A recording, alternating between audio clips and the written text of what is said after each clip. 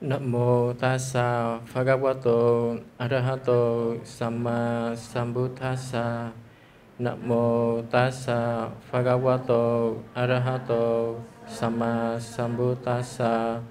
Nam mô tassa bhagavato arahato samma sambuddhassa con đem hết lòng thành kính làm lễ đức phá cáo qua đó. Ngài là bậc A-ra-hăng cao thượng được chứng quả chánh biên tri. Do ngài tự ngộ không thầy chỉ dạy, con đem hết lòng thành kính làm lễ đức phá cáo qua đó. Ngài là bậc A-ra-hăng cao thượng được chứng quả chánh biên tri. Do ngài tự ngộ không thầy chỉ dạy, con đem hết lòng thành kính làm lễ đức phá các qua đó. Ngài là bậc A-ra-hăng cao thượng được chứng quả chánh biên tri. Do ngài tự ngộ không thầy chỉ dạy.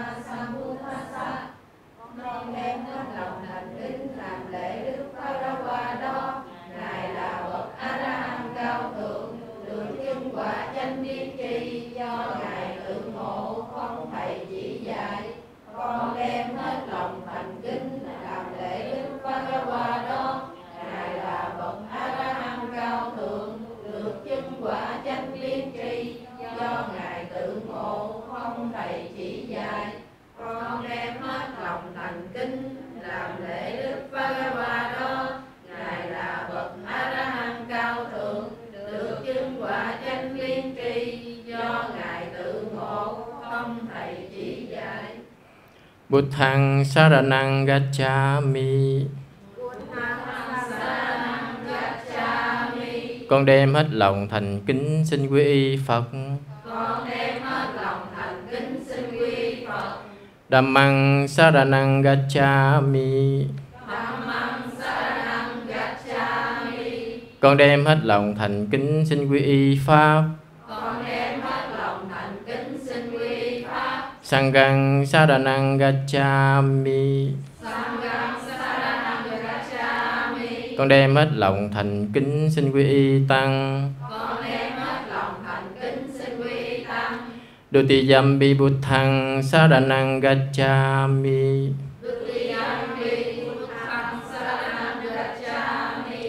Con đem hết lòng thành kính xin quy y Phật lần thứ nhì.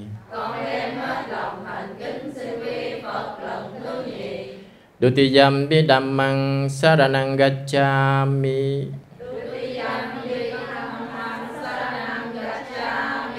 Con đem hết lòng thành kính xin quy y Pháp lần thứ nhì.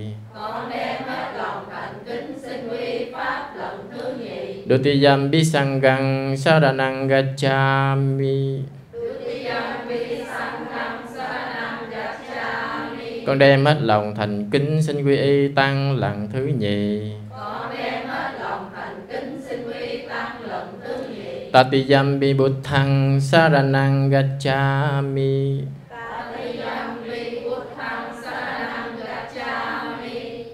con đem hết lòng thành kính xin quy y phật lần thứ ba.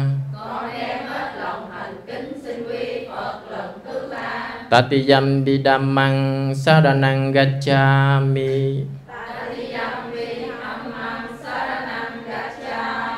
Con đem hết lòng thành kính xin quy y Pháp lần thứ ba. Tatiyam sanghang saranang gacchami con con đem hết lòng thành kính xin quy y tăng lần thứ ba. Pháp quy tam bảo tròn đủ chỉ có bấy nhiêu. Bà na ti ba ta về ra mắt ni sikha ba đăng samma đi ya ami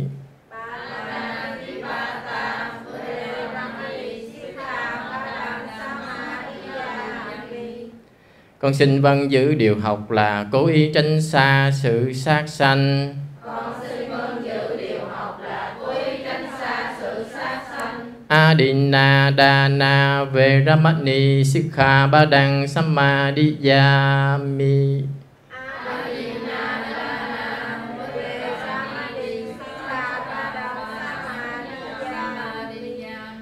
Con xin vâng giữ điều học là cố ý tránh xa sự trộm cắp. Con xin vâng giữ điều học là cố ý tránh xa sự trộm cắp. Kame Sumecha Chara Veramani Sikha Samadhiyami Con xin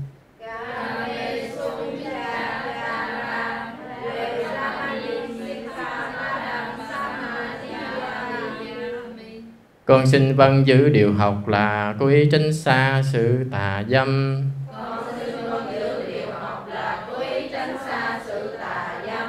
Musa Vada Veramani Sikha Badang Samadhiyami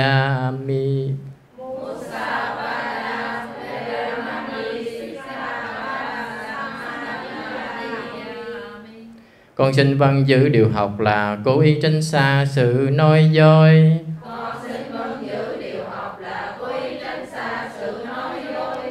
dối Sura me raja machapama dathana veramani sikha badang mi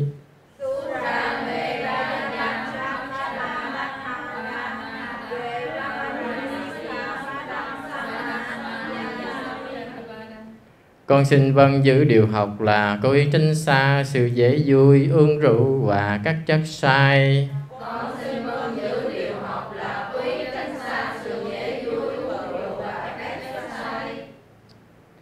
Idang me silang. Nibbanasa. Bacchayo. Ho tu Sile na sugatin janti sile na phogasam sile na niputin janti tasma silang viso tha các chúng sanh được sanh về cõi trời cũng nhờ giữ giới, các chúng sanh được giàu sang đầy đủ tài sản cũng nhờ giữ giới các chúng sanh được giải thoát nhập niết bàn cũng nhờ giữ giới bởi các cơ ấy. Quý vị ráng thọ trì cho được cho được trong sạch đừng để lắm nhơ.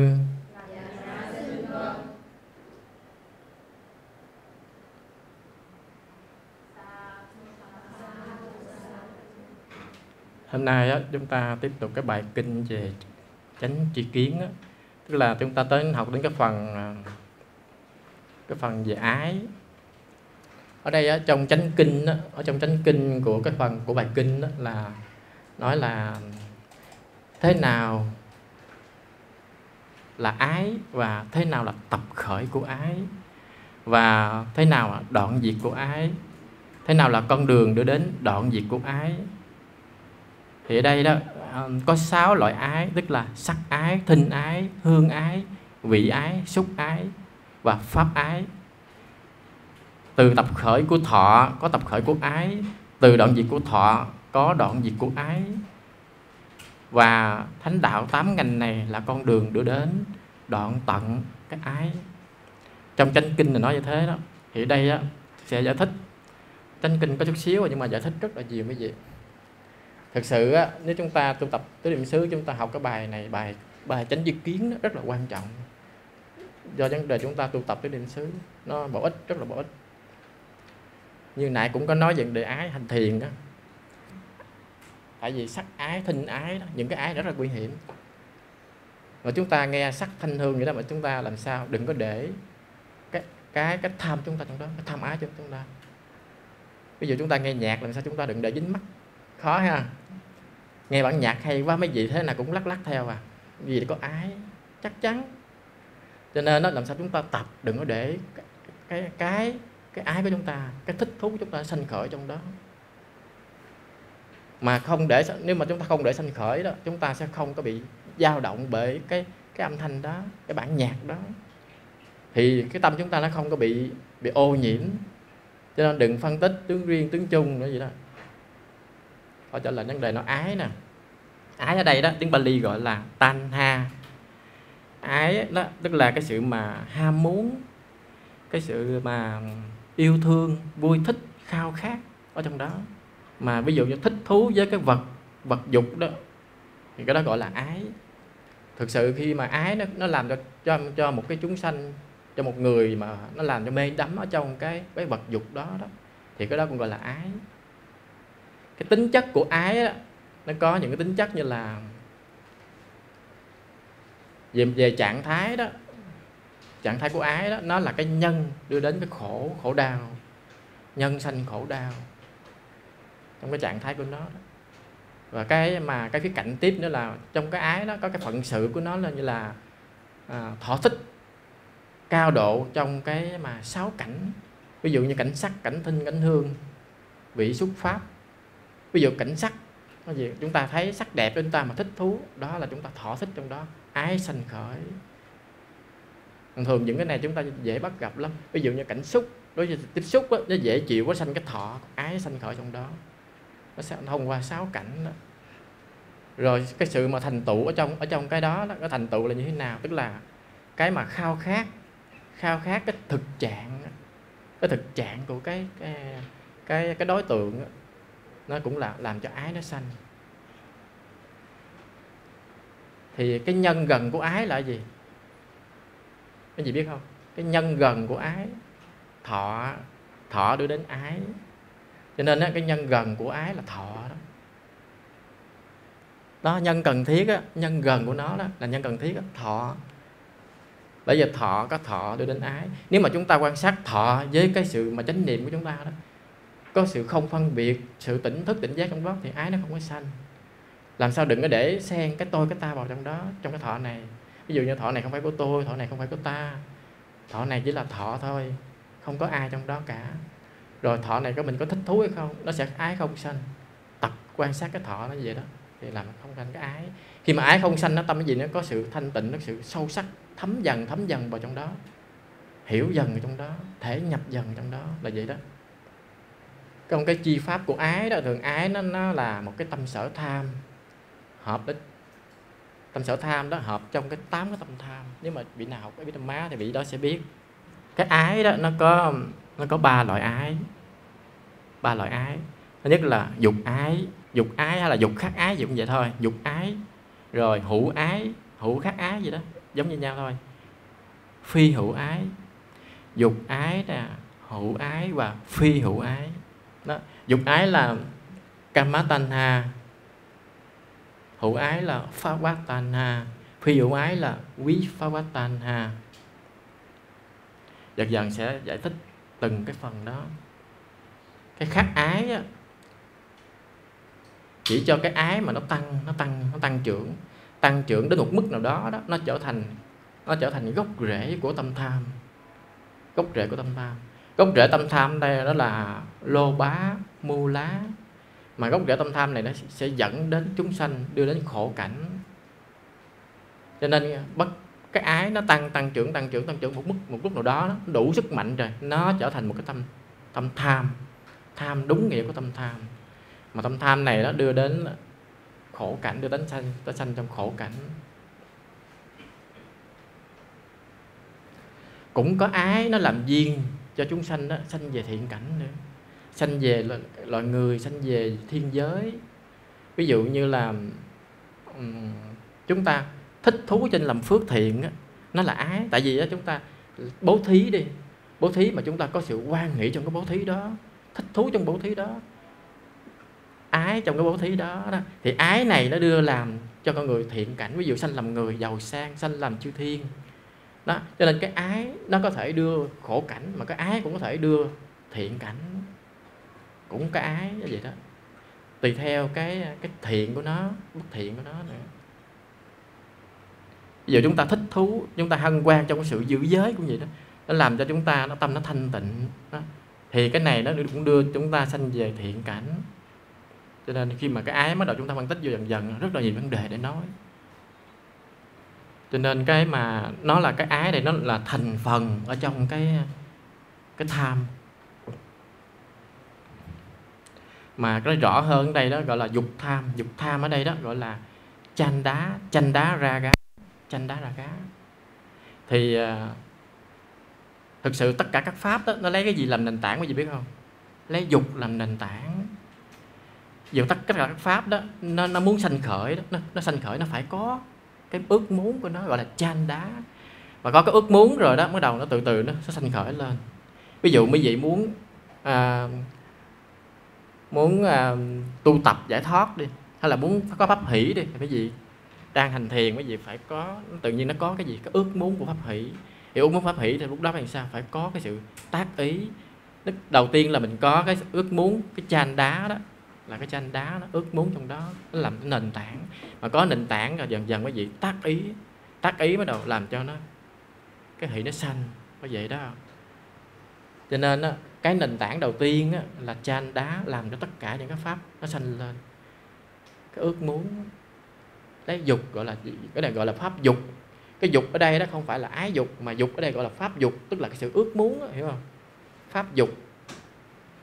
Pháp dục ở đây là chan đá. Chan đá gọi là dục cái sự ước muốn. Mà ước muốn đây ước muốn trên cái pháp nên gọi là chan đá. Cho nên tất cả các pháp á, lấy dục làm căn bản hay là lấy dục làm nền tảng. Đức Phật ngài nói đó này các tỳ kheo hãy bỏ dục đối với sắc. Ví dụ đó đối với sắc chúng ta thấy cảnh sắc sắc đẹp sắc. Và chúng ta làm sao? Bỏ cái cái ước muốn của chúng ta trong đó thì chúng ta sẽ đoạn được đoạn được nó. Cũng vậy đối với cảnh mà à, cảnh sắc rồi à, khi mà khi mà mình đoạn được trong cái cái dục ở trong đó đó nó sẽ đoạn được rồi nó sẽ không có sanh khởi. Nhưng mà khó đoạn được một cách nào? Phải tu tập. Phải tu tập lên. Đức Phật ngài cũng nói này thì khưu hãy từ bỏ à, dục đối với thọ nè. Hãy từ bỏ dục đối với tưởng từ bỏ dục đối với hành.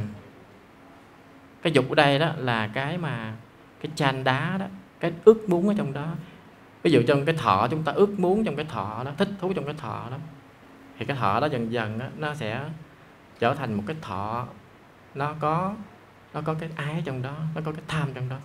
Một khi nó có tham thì thọ này đưa đến khổ. Nó vậy đó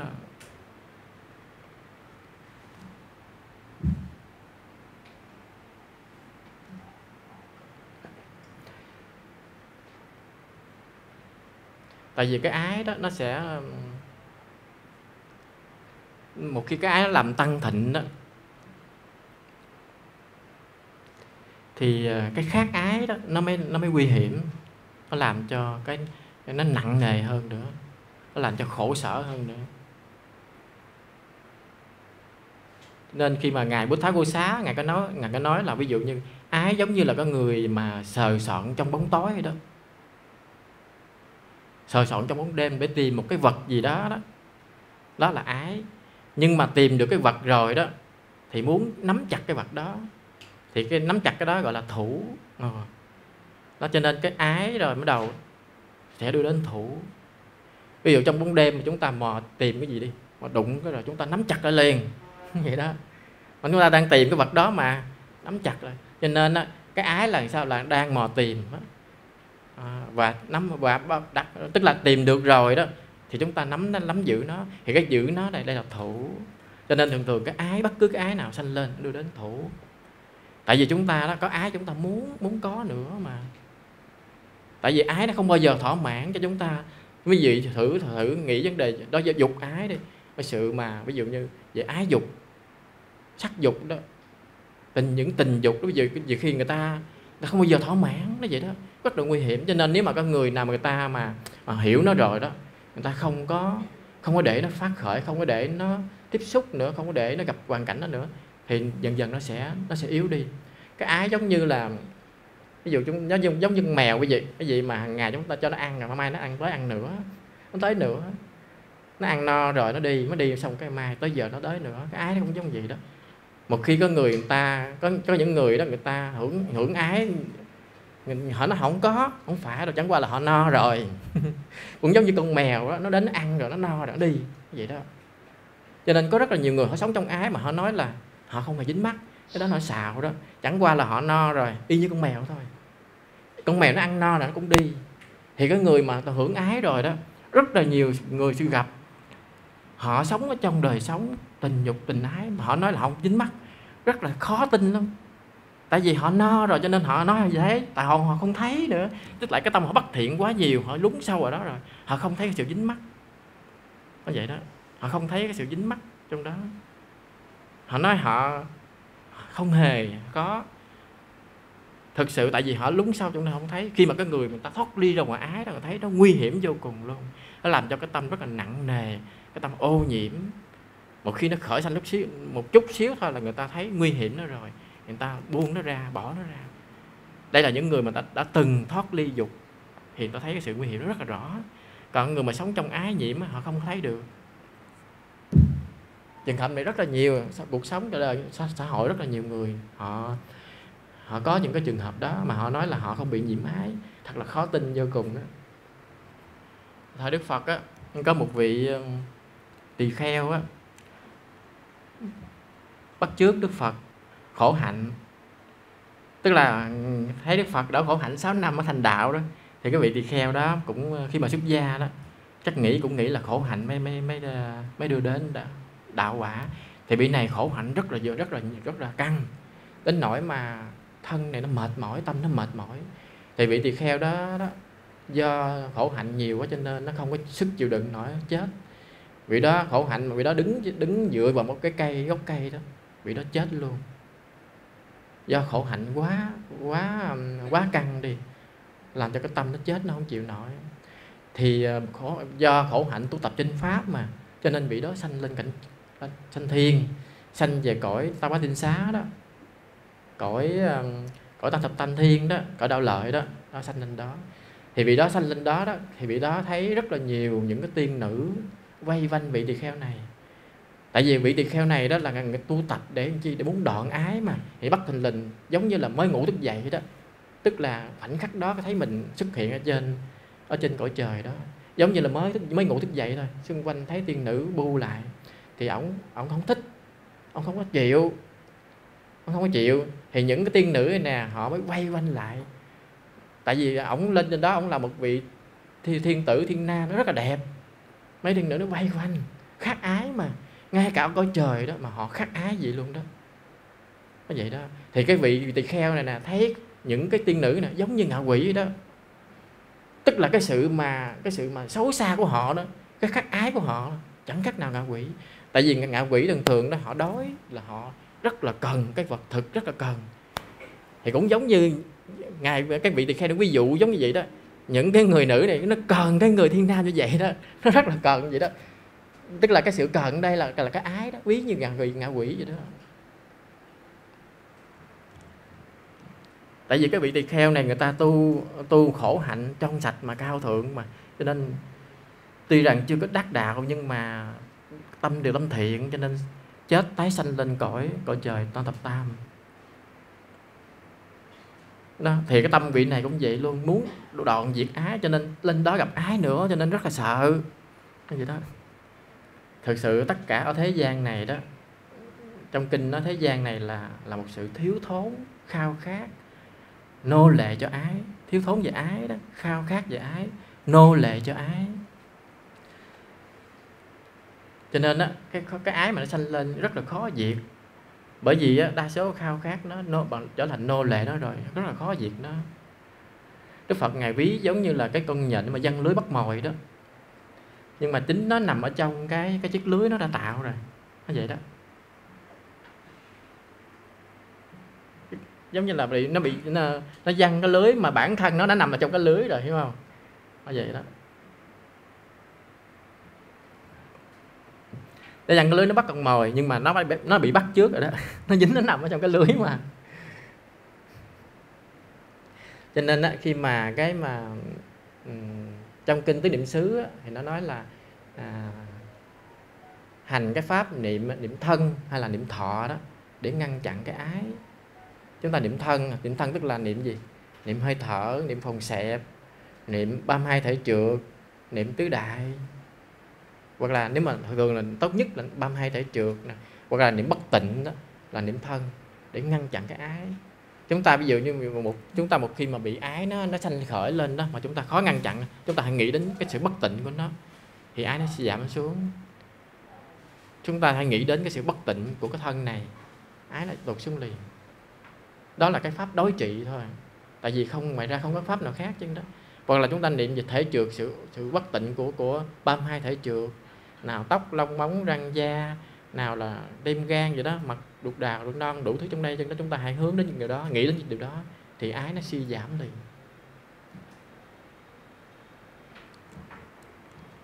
Cho nên đó, khi mà quán thân trên thân á, để diệt trừ cái cái ái thô ái thô có ái thô của dục ái đó. Còn quán thọ trên thọ thì à, diệt trừ cái ái vi tế trong đó. Tại trong cái, cái thọ nó có cái ái vi tế. Bất cứ nào thọ là có ái liền. Trong thập nhị nhân duyên quý vị nhớ không? Thì thọ làm duyên cho ái ái làm duyên cho thủ. Bất cứ cái thọ nào nó luôn luôn có cái ái. Ngay cả thọ khổ, tại vì do ái nó mới khổ. Ái làm nhân của sự khổ mà, sự khổ đau mà. Cho nên còn khi mà quán tâm đó, quán tâm thì chúng ta cũng diệt trừ cái gì? Diệt trừ cái à, cái thường và cái đoạn thường kiến đoạn kiến đó.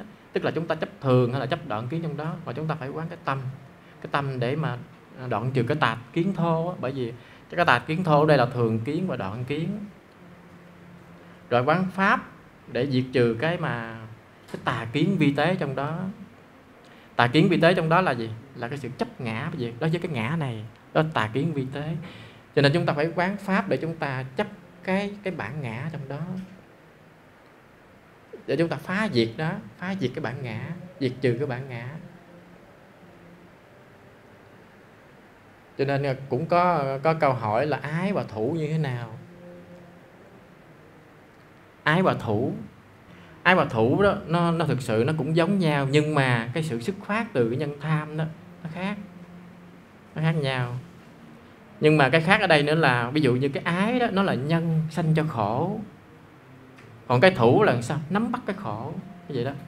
Cái ái hiện thường nó sanh cho nó là nhân nó sanh cho cái khổ đau. Trong tứ diệu đế đó do cái ái cho nên nó khổ. Nguyên nhân nguyên nhân của khổ là ái. Cho nên cái ái này á nó nhân sanh cho khổ. Còn thủ đó, là nó nắm giữ cái khổ đó. Cho nên nếu mà chúng ta buông cái, cái khổ đó ra thì chúng ta không có chấp vào chúng ta không, không có bị ái. Phải tập phải tu tập.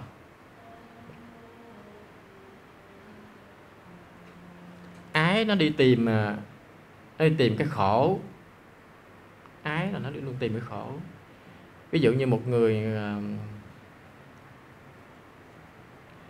đa số mọi người ta tìm kiếm những dục lạc đó, rồi à, còn thủ là tìm kiếm cái khổ ở trong đó. Tiếp theo sẽ nói về các loại ái. Ái ở đây đó, nó có nhất là ái về năm uẩn rồi à, ái về à, bốn món vật dụng nè. Rồi ái về à, sáu cảnh trần. Cho nên đó khi mà đức phật này nói đó cái năm uẩn này nè là cái gánh nặng. Năm uẩn này là gánh nặng đó. bỏ gánh nặng này đó, thì là, tức là cũng bỏ bỏ cái năm uẩn này. Năm uẩn là sắc uẩn nè thọ uẩn tưởng uẩn hành thức đó sắc thọ tưởng hành thức. Thường thường mà bỏ gánh nặng này là, là, là những là những ai bỏ gánh nặng này biết không? A la hán một vị đã đã vượt ra ngoài năm uẩn này thoát ly khỏi năm uẩn này. Cho nên a la hán nói là bỏ gánh nặng đã đã đã để đã để xuống đó. Gánh nặng đã đã, đã bỏ xuống. Việc làm đã, đã xong. Việc làm đã xong rồi. Việc làm gì đã xong? Tức là việc làm đoạn ái đã xong rồi. Thường trong kinh nói là gánh nặng đã đặt xuống việc làm đã đã làm xong là mấy vị đã biết người đó là a la hán đó. Gánh nặng đã đặt xuống, tức là vị đó đó không còn dính mắc trên cái năm uẩn này nữa, không còn cái ái trên năm uẩn này nữa. Việc làm đã làm xong, tức là vị đó, công việc của vị đó đoạn trừ hoàn toàn tất cả các phiền não, đoạn trừ tất cả, diệt trừ tất cả các kiết sử, diệt trừ cái ái hoàn toàn vô minh, diệt trừ hết. Đây là việc làm đã làm xong. Nhưng mà người ta không nói gì đó nói là à, gánh nặng đã đặt xuống việc làm mới làm xong là mấy vị hiểu rồi đó. Là vị đó là a la hán đó. Mấy vị có nghe trong kinh có có gì không?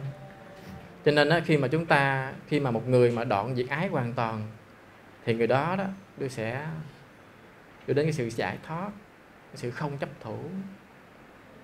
Cho nên vấn đề mà do ái ái dục ái đó dục ái hữu ái phi hữu ái thì cái dục ái là sao? Dục ái là mà cái mà hưởng thụ trên cái sáu cảnh sáu cảnh dục lạc đó. Như là sắc thinh hương vị xúc. Cảnh sắc cảnh thinh cảnh hương cảnh vị cảnh xúc. Cảnh pháp nữa sắc thinh hương vị xúc pháp. Thì nó không có liên quan gì đến cái mà à, cái thường kiến hay đoạn kiến hết. Thường chúng ta thích thú trong cái các cảnh trần cảnh trần đó thì quý vị gọi là gọi là dục đó cho nên ở trong ở trong cái mà tu thiền á, khi mà đức phật nói đó ly dục ly bất thiện pháp á, chứng mà chú sơ thiền đó ly dục là sao? Ly sắc thanh hương vị xúc. Như vậy từng nghe vài phải không? Một vị đã ly dục ly bất thiện pháp một trạng thái hỷ lạc do định sanh vậy đó. Đó ly một khi ly dục là sẽ ly bất thiện pháp. Tại vì có dục là có bất là có bất thiện pháp.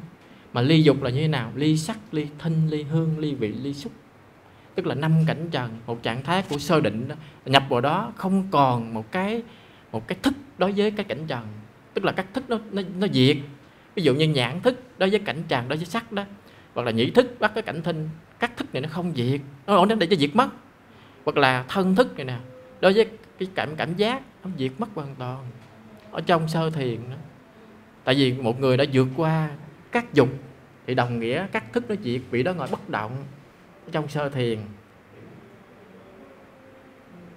Cho nên đó khi mà gọi là uh, ái tức là là liên hệ đến nhớ sắc hình hương vị xúc nên nhớ rồi đó. Gọi là dục ái. Nếu mà muốn giảng giải thích cho từng cái nó rất nó rất mất thời gian lắm. Ví dụ như tạm thời giảng giảng sơ một một cái cạm một cái trong sau sáu cảnh thôi nha. Nếu mà tại không có thời gian đâu rất là nhiều. Ví dụ như à, á ái cảnh xúc đi. Cảnh xúc là sao? Sự đụng chạm đụng chạm với nhau đó, nó tạo cái sự êm ái. Thì cái nhận biết ở trong cái êm ái đó thì trong cái đó đó nó có cái sự thích thú ở trong đó. Cái ái cái thích thú cái, cái đụng chạm cái cảm giác thích thú nó có ái sanh trong đó. Ví dụ ví dụ như chúng ta nghe đi nghe một cái gì mà chúng ta thích thú cái bài hát hay là cái gì lời nào đó cũng ái nó khởi sanh trong đó mà cái sự tu tập của chúng ta làm sao để lìa tất cả sắc thanh hương vị xúc? Gọi là lìa ngũ dục. Lìa không gọi là ly dục. Chúng ta đã lìa rồi, chúng ta đạt đến trình độ ly dục. Ngay cả trong thiền samatha hay là thiền vipassana cũng vậy luôn. Chúng ta tu tập làm sao phải đạt được cái sự ly dục? Vậy đó. Cho nên người ta muốn lìa trong vipassana muốn lìa làm sao? Thấy là chỉ thấy, nghe thì chỉ nghe thôi, đừng có phân tích nó. Đừng có bàn nó, đừng có Ờ, tư duy phán đoán nó không cần. Chỉ dừng ở đó. Thấy là chỉ thấy, nghe chỉ nghe. Tức là không có cái tôi thấy, không có cái tôi nghe, không có bản ngã của tôi thấy, không có bản ngã của tôi nghe. Không có ai nghe trong đây hết trơn á. Thì sao? Nó dừng lại ở đó. Ái không sanh. Đối với cảnh cảnh tha, cảnh cảnh sắc chúng ta cũng vậy luôn. Cảnh thinh, cảnh hương, cảnh vị, cảnh xúc cũng giống y như vậy. Đừng có để cái tôi, cái ta đừng có để phân biệt tướng riêng, tướng chung trong đó nó sanh khởi thì ái nó không có sanh đây là điều rất là quan trọng. Ở trong thiền vipassana cũng vậy chúng ta khi mà hành thiền á chúng ta làm sao á cho nên thiền là trước, trước hết sao? Đóng cái gì? Cái, cái mắt lại. Là chúng ta đóng được cái nhãn rồi. Hiểu không? Rồi từ từ chúng ta đâu thể nào cũng lên bịch tai ngồi thiền. Nhưng mà không kệ cứ để đó. Nhưng mà nghe chỉ là nghe thôi. Đừng để trao động trên cái nghe. Đừng để chạy theo cái nghe. Thì dần dần chúng ta nó lìa nó lìa dần dần mà nó hướng đến cái cái đối tượng chúng ta rất là rõ. Đây là chúng ta đạt một cái sự ly dục cho nên chúng ta không còn bị ảnh hưởng bởi ngũ dục đó.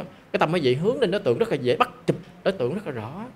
Mà khi mà ly dục được vậy hỷ nó sanh lên. Vậy đó. Hiểu không? Hiểu là phải ráng làm. Cái, cái quy tắc của nó là vậy đó quy tắc thiền là vậy đó. Làm sao phải đạt được cái ly dục ngay cả thiền quán hay là thiền samatha cũng vậy luôn. Thiền samatha ví dụ đặt một điểm ở đây đi. Thỉnh thoảng cái tâm nó chạy qua chạy lại chạy qua lại. Đôi khi tâm nó chạy xuống nó cảm giác cảm giác đó. Đôi khi tâm nó chạy theo cái suy nghĩ cái tư tưởng. Đôi khi nghe cái cái động tiếng động nó chạy ra liền. Thì chúng ta chưa có đạt được cái, được cái sự ly dục. Chúng ta bị kéo bị ngũ dục. Chúng ta kéo cái tâm đi. Nếu cho nên chúng ta cần phải nhớ một điểm liên tục ở đây. Nhớ cái tâm đặt cái tâm. Trong kinh nói đó đặt cái tâm trước mặt đó. Tỉnh thức tỉnh giác chánh niệm ở trước mặt nè. Chúng ta hay biết cái ở đây nè là chúng ta có tâm ở đây. Luôn luôn hay biết cái tâm ở đây. Tức là luôn luôn hay biết cái điều mà diễn ra ở đây là chúng ta có cái tâm ở đây. Như vậy đó. Thì cái tâm ở đây và chúng ta luôn luôn ghi nhớ ghi nhận hoài để dần dần nó thiết lập ở đây nó ở đây nó, nó chấn thủ ở đây nó bắt được đối tượng. Hơi thở rất là rõ. Cho nên chúng ta đừng có đừng có đừng có mà đi tìm kiếm hơi thở. Đừng có cố nắm bắt hơi thở. Mà chúng ta tìm kiếm hơi thở nắm bắt hơi thở thì chúng ta sẽ tìm kiếm với tham ngon hòa đi, đi cố gắng thở cho mạnh để có cái cảm giác tham hết sai hết. Ột họ nó cứng ngắc luôn. Cho nên anh nhớ cái điều đó chúng ta để tự nhiên đừng có chạy tìm kiếm nó nha. Nhưng mà chúng ta đặt cái tâm, tỉnh thức, tỉnh giác trước mặt ở trong kinh nói mà. Để cái tâm trước mặt là vậy đó. Tức là cái biết chúng ta có hiện hữu đây, tức là cái tâm chúng ta có ở đây. Mà tâm chúng ta có đây tức là tâm chúng ta có mặt đó, có trước mặt đó. Dần dần cái chúng ta thiết lập ở đây hoàn toàn luôn đó. Nhưng mà phải, không phải dễ đâu. Năm cái ngũ lục tặc nó kéo chúng ta đi liên tục luôn hết thằng này tới thằng nọ nó kéo kéo. Cho nên chúng ta làm sao có đủ sức mạnh? Sức mạnh của chúng ta là gì? Cái chi tầm đó chi tầm á. Tầm nó hướng đến đối tượng. Thực sự nói ít thôi nhưng mà chúng ta hiểu cho mớm chúng hành hành sao? Quan trọng là cái bài học. À, trong cái mà đắc các cảnh sắc đó bất cứ là nó sanh lên đó nó sanh lên nó có một cái động lực trong cái trong cái mà ngũ dục đó nha cảnh sắc cảnh thanh cảnh thương và biện xúc cho nên nó, nó, có một cái động lực động lực nó kéo chúng ta ra mà. Cho nên chúng ta làm sao đó um, luôn luôn có hay biết có tỉnh thức tỉnh giác thì, thì, nó, thì cái động lực nó không có sanh được. Mà một khi nó động lực nó sanh lên rồi là có ái. Thì cái động lực ở đây nó có như là cái động lực thứ nhất là động lực hữu phần. Hữu phần vừa qua đó rồi hữu phần rung động. Hữu phần rung động nè hữu phần dứt dòng. Rồi tâm hướng ngũ môn rồi tới bắt đầu nhãn thức rồi tới tâm tiếp thu tới tâm quan sát ở đây là xin nói trong một cái cảnh của đối với cảnh sắc thôi tức là chúng ta mắt thấy đó. Thì chúng ta sẽ nguyên cái này nó sanh lên là nó có cái ái trong đó liền. Nếu mà chúng ta chúng ta có chánh niệm á, liên tục á, thì ái nó không có sanh. Ái không có sanh. Chúng ta có chánh niệm đủ mạnh á, chúng ta không làm ái cho sanh. Thì ái nó không sanh thì thì các hữu phần này nè các hữu phần cái tức là các mà à, nguyên cái những cái cháo bánh ná nè cái lộ trình này nó không có sanh khởi. Nó không có sanh khởi đó thì nó không có ái sanh. Đối với cảnh thinh cũng vậy luôn sắc thanh hương vị xúc những cảnh khác nó cũng tương tự như vậy. Mà chúng ta chánh niệm mà yếu á thì những cái cái dòng chá bá ná này nó sanh khởi là bắt đầu hữu phần người qua hữu phần rung động rồi rút rút dòng rồi bắt đầu tâm hướng ngũ môn cái ý tâm nó nó, nó bắt ngủ bắt cái cái năm cảnh gọi là tâm hướng ngũ môn. Hướng ngũ môn ví dụ nó hướng ngũ môn ở nhãn thức thì thì tâm nhãn thức sanh nó hướng ngũ môn ở nhị thức thì tâm nhị thức sanh hiểu không? Vậy đó. Tại cái cảnh nào rõ thì nó bắt à. Rồi tới tâm tiếp thô, tâm quan sát, quan tâm quan sát vậy đó. Xong rồi tới phán đoán, rồi xong tới những động lực của nó. Cái động lực của cái cái cảnh đó sanh lên thì nó có ái sanh trong đó liền. Do chúng ta chánh niệm không có đủ sức mạnh thì nguyên cái dòng ái này sanh lên liền. Như vậy đó. Cho nên nó kéo chúng ta tâm khỏi đối tượng là vậy đó. Cho nên nãy xin nói ở đây nè mình mình mà không có đủ mạnh đây đó, thì nó kéo chật đi liền. Nhưng khi mà quý vị đủ mạnh đó, quý vị kéo lại, kéo trở lại, kéo lại, nhưng mà họ cũng kéo tới kéo lui. Ai thắng thì kéo lại thôi à. Chúng ta chánh niệm càng tốt thì chúng ta kéo mạnh trên đối tượng. Vững chắc luôn, thì chúng ta đạt được cái sự ly ly dục. Như vậy đó. Tức là lúc đó cái gì? Cái mà quy tắc cá đó, cái chỉ tầm của chúng ta nó đủ sức mạnh rồi, nó dán chặt trên đối tượng nó bắt được đối tượng vững rồi, thì cái mà biết cha rá đó là cái tứ dính trên đối tượng luôn. Lúc đó chúng ta sẽ thắng được ngũ dục. Ừ. thì ngay lúc đó hành giả sẽ nhập vào cái một cái cái ấn, cái nimitta đó đó, nhập vào và chúng ta vượt thoát ngũ dục. Đây là một trạng thái mà ly dục, ly sắc thanh hương vị xuất pháp đó. Thì ly dục thì sao? Hỷ nó sanh lên chứ không có gì hết á tại vì ly dục tất cả các bất thiện pháp nó không có xen vô được cho nên đó lúc đó là toàn là pháp thiện không mà cho nên hỷ sanh. Ừ, cái động lực ná đó tức là cái lộ cái lộ ví dụ như lộ nhận thức thì nguyên cái cái cái cái, cái tâm cái nhận thức nó thấy thấy thấy cảnh bắt nó thấy nó thấy. Lúc đó là thích thú trong đó là cái ái nó, nó sanh khởi liền. Ná gọi là gọi là cái động lực. Ví dụ cảnh cảnh à, cảnh nghe đi chúng ta thích thú ở trong cái âm thanh nào nghe đó thì ngay khoảnh khắc đó cái nghe chúng ta có ái cái chấp ánh ná của cái nghe đó hiện rõ ra luôn. Chúng ta nghe cái điều đó rất là rõ thích trong đó luôn. Cho nên cái ái đó nó rất là nguy hiểm. Rất là nguy hiểm cái gì? Có một câu, câu, câu chuyện như thế này nè. À, thời xưa đó có một vị bà la môn tên là à, vê đắp phá. Mà cái vị này đó có cái chú thực. Chú thực. Thời xưa có loại nhiều chú thực rất là hay. Vị này có thể là đọc cái chú thực đó là đó, đó thì ờ, vàng bạc kim cương đá quý nó rơi xuống từ trên trời rơi xuống. Như vậy đó. Có những cái loại chú thực đó, đó. Nhưng mà phải đọc đúng cái ngày nào đúng cái ngày đó là bao nhiêu những cái những cái hành tinh hội tụ sao làm sao đó thì đúng cái ngày đó đọc cái chú thực đó là vàng bạc nó rơi xuống. Tức là cái vị đó mà luyện được cái thực đó đó thì một thì một ngày có một ngày nọ đó bồ tát với một cái với vị vị đó vị đó là vị thầy của bồ tát bồ tát mình đó là bây giờ là đức phật thích ca đó tức là ngày xưa cái xa xưa là bồ tát. Thì bồ tát với uh, coi ờ, là độc trò của vị đó. Thì khi mà trên đường đi vậy đó thì hai vị này bị cướp bắt. Cướp bắt đó, thì uh, ăn cướp này nè những tên cướp này nó mới uh, nó mới cho bồ tát đi để mà đi kiếm uh, kiếm tiền để chuộc chuộc lại đó. Còn không thì nó giết thầy thì khi mà bồ tát đi bồ tát mới nói với thầy là thầy đừng có đọc cái chú thực đó thầy đọc chú thực đó thầy sẽ chết đó. Ông thầy ông không chịu nghe bồ tát rất là trí tuệ. Thì à, khi mà bồ tát đi à, kiếm những cái à, kiếm mà tiền bạc vàng bạc đấy đi chuộc thầy mà. Thì ông thầy này ông cũng sợ đi ông sợ bọn những tên cướp này giết giết ổng. Ông mới nói là các ngươi có thích vàng bạc không? Ta có thể cho. Rồi mấy ngươi thả ta đi rồi ta ta sẽ cho. Thì mấy vị nói đó à, làm sao ông có được mà ông cho? Ông nói ông ông phe ông nói ông có cái cái chú thực đó cái pháp thực đó. Ông đọc là nó rớt xuống. Mà thật cái nó ờ, tới gần tại vì gần tới cái ngày đó rồi cái ông canh đúng cái ngày đó ông nói. Ông nói thì mấy đứa này nó cũng tin nó nói nếu mà ông mà à, mà làm mà à, mà làm cho vàng bạc nó rớt xuống vậy đó thì nó ta thả ra thì à, ổng đọc. Ổng đọc thì vàng trên trên trời đó nó rớt xuống thật. Vàng bạc kim cương đá quý nó rớt xuống. Thực thực ở trong hư không đó, nó có vàng có kim cương là có đá quý thì không có đâu. Đá quý trong lòng đất thôi. Rớt xuống đó thì những tên cướp này lượm. Đó, nó lượm thì nó đi. Nó lượm đó, thì trong quá trình lượm đó, thì nó bị một cái tên cướp khác nữa. Tức là cái cái nhóm cướp khác nữa nó bắt nó bắt cái nhóm cướp này như vậy đó. Anh bắt nhóm cướp này thì lúc đầu đó thì cái cái à, cái cái nhóm cướp mà nó sao nó nhiều hơn mà. Thì à, nó mới hỏi nó hỏi ông này làm là, là đọc cho nó nữa đi để để mà đọc cho nó rớt xuống. Thực sự chỉ làm được một ngày một một lần thôi trong một ngày đó làm được một lần thôi. Thì cuối cùng ông thầy đâu làm được nữa đâu thì đám cướp đó nó, nó giết chết. Cho nên vì cái gì? Cái ái cái muốn sống rồi cái rồi cái tham muốn tiền, muốn vàng bạc vậy đó. Cho nên bị chết. Cho nên cái ái đó rất nguy hiểm là vậy đó. Mà bồ tát biết trước vậy đó, bồ tát nói, thầy đừng có đọc, thầy đọc là thầy chết. Là vậy đó. Cuối cùng nó áp dụng đâu có được. Những cái ờ, cái nhóm cướp sao đó, nó yêu cầu ông làm mà ông làm đâu được đó. Ông nói phải chờ năm sau đúng ngày này. Đúng ngày này thì các tinh tú nó hội tụ, đọc nó mới được cho nên có nhiều chú thực rất là lạ quý vị nhiều lắm. Nhưng mà sẽ không kể đâu.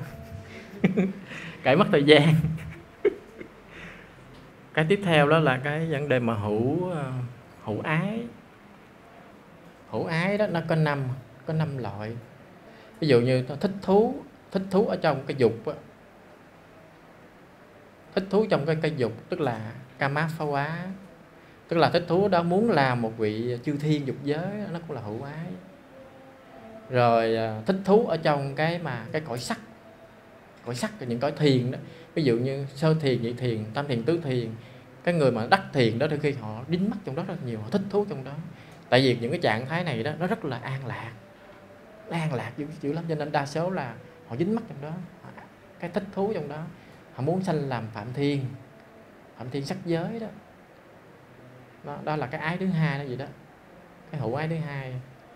Hoặc là thích thú ở trong những cái cõi à, cõi vô sắc. Cõi vô sắc gồm có không cho biên xứ là thức cho biên xứ vô sở xứ phi tưởng phi tưởng xứ. Thích thú trong đó. Thích thú trong đó đó sẽ sanh về cõi đó làm phạm thiên vô sắc. Gọi là vô sắc hữu hoặc là có những người ta thích thú trong các các tầng. Cái tiếp theo là thích thú trong các tầng thiền định, tức là muốn chứng đắc những thiền sắc giới hay là vô sắc giới. Thích thú ở trong gọi là nhập định ở trong cái gọi là chana sampatti hoặc là thích thú với những cái quan điểm mà thường thường hằng đó. Asatta thí. Thường là họ sẽ có, họ chấp là một, có một cái ngã thường hằng ở trong mỗi chúng ta. Đây là cái quan điểm sai đó. Chính cái tà kiến đó rồi, tức là họ nói là chúng sanh chết đi rồi đó, nhưng cái bản ngã nó vẫn còn tồn tại, nó chuyển từ thân này sang thân khác. Đây là cái tà kiến. Kiến sai, tà kiến về thường kiến hay gì đó, tà kiến về thường kiến. Thường trong cái hữu ái đó, là nó sẽ có ước muốn cái sự sinh hữu ở trong đó. Thì ờ, sự sinh hữu trong đó thường thường đi chung với cái gì? Cái thường kiến. Tại vì tham liếng ở trong cái cõi cõi sắc hay là cõi vô sắc đó, tức là nhiễm đắm ở trong cái các các tầng thiền đó ừ, tại vì đó họ họ họ chấp cái đó là thường kiến là là là tồn tại lâu dài và mãi mãi đó. Nhưng mà thực sự ngay cả cõi sơ thiền quý vị cũng bị hoại diệt luôn. Ví dụ như có những cái lúc giai đoạn mà vũ trụ để hoại diệt đó cõi sơ thiền hoại diệt bởi bởi lửa. Lửa cái cái quả đại đó nó nó diệt nó nó cháy hết cái quả địa cầu luôn nó cháy lên cái cõi sơ thiền. Nó, cho nên cái cho nên cái cõi sau thiền này đó nó không phải là thường. Nó cũng bị thiêu rụi bởi yếu tố yếu tố lửa.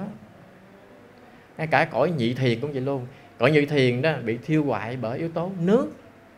Yếu tố nước. Khi mà vũ trụ này nó bị thiêu đốt hết toàn bộ rồi bởi bởi cái cái quả đại đó.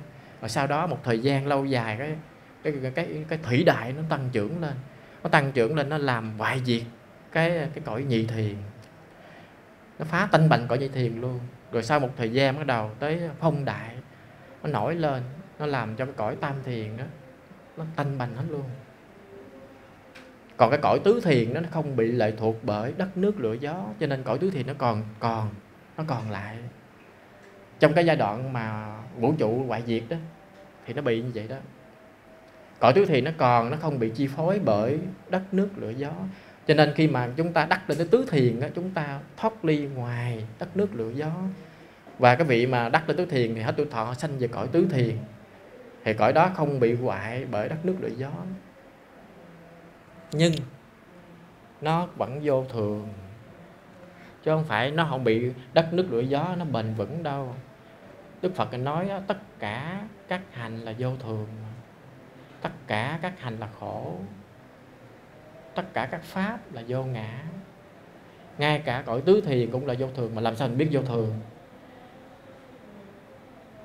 Vô thường xuất hiện ở đó ở đó, đó là khi mà một vị phạm thiên hết tuổi thọ đó tự động nó biến mất biến mất tại chỗ đó. Đây là vô thường ta biết vô thường. Tại thường thường các phạm thiên đó họ sống tuổi thọ rất là lâu. Họ thấy họ là thường hằng không à. Họ chấp dữ lắm. Họ họ nghĩ là họ là đấng tạo chủ ví dụ như một ông, một một cái ông đại phạm thiên ở trong cái cõi đó đi, họ nghĩ ổng là một đấng tạo chủ. Ổng ổng tạo ra những cái chúng sanh trong đó, những cái phạm thiên nhỏ trong đó. Vậy đó. Tại vì ông thấy ông sống hoài, không có chết, cho nên ông nói ông là đấng tạo chủ. Ông nghĩ một cái là một chúng sanh khác hiện ra ông ước một chúng sanh khác, chúng sanh khác hiện ra. Nó duyên nó tương ưng đó. Tự nhiên á cái nghĩ, có một vị ở dưới thế gian đắc tứ thiền đi tuổi thọ gần hết rồi. Trên đó tự nhiên khiến ông ước muốn có chúng sanh hiện ở cõi tứ thiền nó xuất hiện thì ông ý này chết sanh trên đó. Nó lạ lắm tương ưng vậy đó. Cho nên cái cõi đó đó muốn thấy cái sự cái sự mà vô thường đó bởi một vị phạm thiên biến mất. Biến mất luôn hoàn toàn luôn. Thì thấy biết là vô thường. Rồi thấy những cái mà à, những cái đền đài ở trên đó đó của vị đó nó cũng biến mất theo luôn. Vị đó chết thì nó đó biến mất. Toàn bộ chỗ nó biến mất. Cho nên đây là cái sự nhận ra cái sự vô thường ở cõi tứ thiền là vậy đó.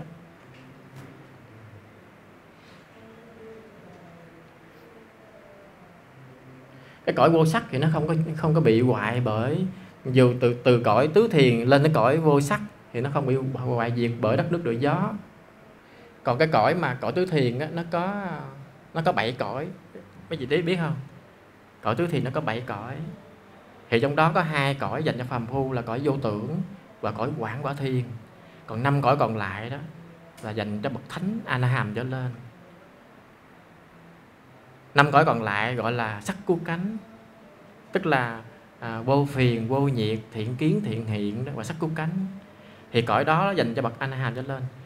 Ngay cả những cái cõi đó nó cũng có vô thường trong đó nữa bậc dùng cho bậc a la hàm ở đó do thường là sao? Khi mà họ thấy một vị một vị ví dụ như một vị a hàm đi đắc quả a la hán xong thì tự động đó, cái thân của vị đó đó nó trở thành hư không. Ở trên cái cõi cõi mà à, một trong năm cõi ngũ tịnh cư đó một vị thánh a hàm tại vì bậc a hàm mới sanh lên đó được. Bậc bậc mà nhị đạo nhị quả không có sanh lên đó chỉ bậc a hàm thôi. Vị nào đắc quả a hàm thế gian này hết tuổi thọ sanh lên cõi ngũ tịnh cư một trong ngũ tịnh cư thiên. Thì cái vị đó trên đó, nếu mà tu tập đắc quả a la hán đó, thì khi mà đắc quả a la hán thì cái cái tâm, cái thân của vị đó luôn, thân tâm vị đó rỗng không, biến mất, nhập niết bàn luôn, vị đó nhập niết bàn luôn. Vậy đó, nó quá nó quá, nó rỗng không luôn, tự nhiên quá nó rỗng không. Chính vì cái này thì người ta biết cái vị đó đắc a la hán nhập niết bàn. Hoặc là cái vị này hết tuổi thọ cũng có thể hết tuổi thọ nữa. Thường thường các thì vô sắc á, người ta đạt. Ít rất là ít người đạt đến. Thường thường có những người ha, người ta chấp à, chấp năng năm ẩn đây nè. Là bền vững. Năm ẩn tức là sắc ẩn sắc thọ tưởng hình thức chắc sắp. Người ta, ta chấp vào năm ẩn này là bền vững. Tà kiến mà chấp tà kiến mà rồi cho chấp cái bài bình vững vậy đó, thì họ mới chấp có cõi vĩnh hằng, có cõi thường hằng. Thì cái này cũng là rơi vào tà kiến đó. Hữu ái đó. hữu ái thường đi chung với cái thường kiến. Cái gì thường hằng, cái đó là thường kiến đó. Đây là hữu ái thường thường chấp về thường kiến. Tiếp theo là phần cái phần à, vô hữu ái. Vô hữu ái là gì? Là không tồn tại. Không tồn tại gọi là vô hữu. Tức là cái sự đoạn diệt đó.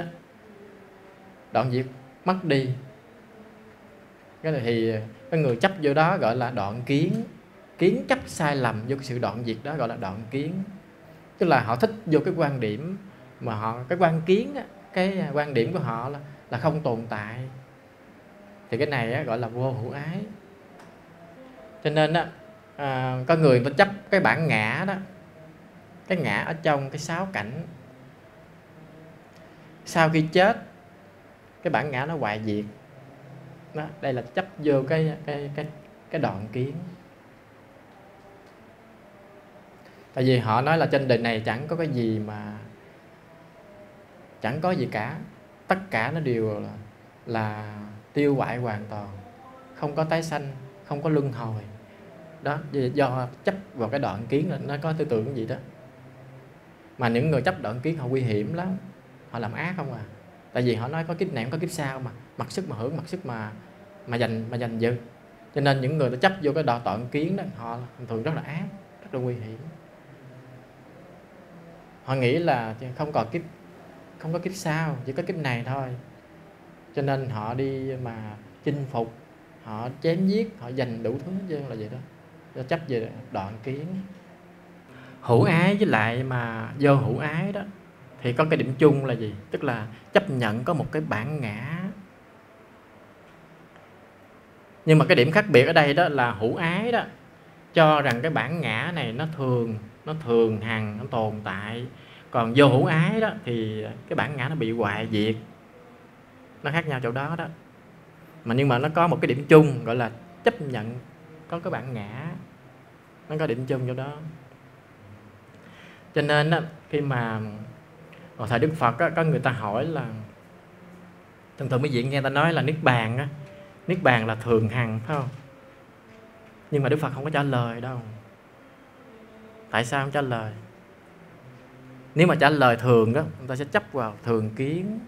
Nó vậy đó à cho nên những cái những cái này chúng ta đừng nên bàn đến mà chúng ta hãy lo tu tập đi. Chúng ta làm cái nhân cái tốt để chúng ta đi đến cái quả là chúng ta hiểu thôi. Chứ đừng có đi tìm cái quả tìm hiểu cái quả đó chúng ta sẽ bị chặn đứng hết. Đức Phật ngài không bao giờ dạy về niết bàn sao làm sao đâu. Ngài dạy chúng ta cái đường lối để đi đến niết bàn. Chứ không phải đức đức phật dạy niết bàn niết bàn chút ngài giảng giải vậy hoài không phải. Ngài chỉ chúng ta cái đường lối tu tập làm sao đi đến niết bàn. Cho nên thời đức phật á, người ta hỏi đức phật á, Ừ. bạch đức thế tôn, đức thế tôn có tồn tại sau khi chết không? Hay là đức phật, hay là đức thế tôn không tồn tại sau khi chết? Hay là đức thế tôn tồn tại hoặc là không tồn tại sau khi chết? Hay là đức thế tôn tồn tại cũng không tồn tại sau khi chết? Đức phật không trả lời. Không có trả lời. Tại sao không trả lời? Nếu mà trả lời đó, cái cỡ nào cũng bị dính mắt chứ cũng bị cũng bị người ta dính vô cái thường kiến và đoạn kiến chứ đó ví dụ đức phật nói chả như lai còn tồn tại. Thì người ta chấp vô à vậy là vậy là vẫn còn còn thường, thường kiến. Chấp vô thường kiến. Không lẽ đức phật nói như lai đoạn diệt như lai chết mất tiêu luôn. Thì nó chấp vô đoạn kiến cho nên phật không có trả lời rất là nguy hiểm cho đó. Mà con người chấp vô thường kiến hay đoạn kiến thì không đắc được đạo quả. Vì tại vì tại vì họ chấp vô bản ngã thường hiểu không?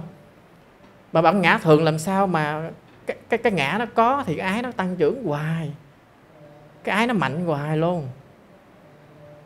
Ái mạnh hoài thì không bao giờ đoạn diệt ái. Không đoạn diệt ái thì không đi đến đạo quả. Hiểu không? Hiểu chưa? Nó vậy đó. Còn nếu mà nói là như lai đoạn diệt sao bị chết? Như lai không còn gì sao bị chết? Thì nó chấp vô cái, cái đoạn kiến. Chấp vô đoạn kiến đó thì người ta ta đâu cần tu làm chi? Ủa mình đâu còn cái sao đâu mình mình, mình mất mất mới tu làm chi? Cái này mình hưởng thụ cho sướng. Nó vậy đó. Rất là nguy hiểm cho cái người cái người người nghe người hiểu. Ngay cả đức phật ta ngay cả ta hỏi đức bàn có thường hay không thường ngài không trả lời luôn. Vậy đó. Trả lời cỡ nào cũng bị dính vô. Thường kiến và đoạn kiến. Cho nên ngài im lặng ngài không trả lời. Mấy chị hiểu không? Hiểu không? Không hiểu. Ủa giải thích có gì rõ ràng thì sao không hiểu? Ví dụ như mình nói thường đi thì mình cho bản ngã này. Bản ngã này nó nó, nó tái sanh từ nó chuyển từ cái này sang kia nó còn yên vậy là để cho chấp thường kiến. Mà bản ngã còn thì phiền não còn ái còn. Mà ái còn thì không bao giờ đoạn ái được. Không đoạn ái được sao thấy nước bàn? Nó vậy đó. Đoạn ái là sẽ sẽ thấy được nước bàn. Đoạn diệt phiền não thấy được nước bàn. Đoạn diệt ái sẽ đoạn diệt vô minh. Có nghe chưa? Cho nên đó, cái ái đó tính ra đó có 108 loại ái là cái gì 108 loại ái. Tính cho mấy vị biết nè ví dụ như sáu cảnh ngoại ha với, với, với sáu cảnh nội ha. Sáu cảnh ngoại là gì? Sắc thanh hương vị xúc sáu cảnh nội. Nhãn. Đúng rồi nhãn nhĩ tỷ thiệt thân ý. Sáu cảnh nội sáu cảnh ngoại. Là nhiêu? Là 12 ha. À, thì chúng ta lấy 12 chúng ta nhân cho ba đi. Ba cái chúng ta nhân cho ba cái ái. Tức là dục ái hữu ái phi hữu ái đó. Thì 12 nhân 3 là nhiêu? Là 36 36 mà chúng ta nhân cho quá khứ, hiện tại, vị lai. Tức là chúng ta nhân cho 3 36 nhân 3 thành 108 108 cái ái. Đó. vậy đó. Dễ hiểu ha? 108 cái ái. Cho nên cái ái này đó, nó có ái, cho nên ái sanh lên đó, nó do có cái thọ. Tại vì á do cái người người ta có cái cái ái ngủ ngầm á, tức là tức là tanh ha núi xá giá, ai cũng vậy hết trơn luôn luôn có cái ái ngủ ngầm bên trong đây. Cho nên khi mà có thọ đó, thì nó làm duyên cho ái, có thọ thì ái nó sanh lên liền như vậy đó. Thì bây giờ chúng ta cũng có thọ mà chúng ta làm sao đừng để ái sanh lên. Thì chúng ta ghi nhận cái thọ đó, có chánh niệm, có tỉnh thức, hiểu không? Có chánh niệm, có tỉnh thức ghi nhận cái thọ đó, không có tôi, không có ta, không phải là tôi. Cái thọ này nó đang sanh diệt sanh diệt sanh diệt. Không có ai trong thọ hết. Cái thọ này không phải là bản ngã của tôi, thọ này không phải của tôi. Thì quý vị tư duy như vậy quan sát cái về chánh niệm như thế vậy sẽ không để ái sanh vô. Mà không để ái sanh vô thì quý vị có cái tâm thanh tịnh, tâm định, tâm, quý vị thấm nhập vào cái thọ đó thấm sâu vào cái thọ đó mới vị sẽ thấy được cái tiềm tàng của cái cái ái trong cái thọ đó. Vậy đó. Cái tiềm tàng của ngủ ngầm của cái ái trong đó. Hiểu không? Khó hiểu vô cùng ha. Thật sự cái bài kinh tránh dư kiến này sâu sắc dữ lắm luôn đó, mà nó giảng minh mông luôn đó. Cái bài kinh giảng hôm nay chưa xong. Rất là nhiều vấn đề để nói.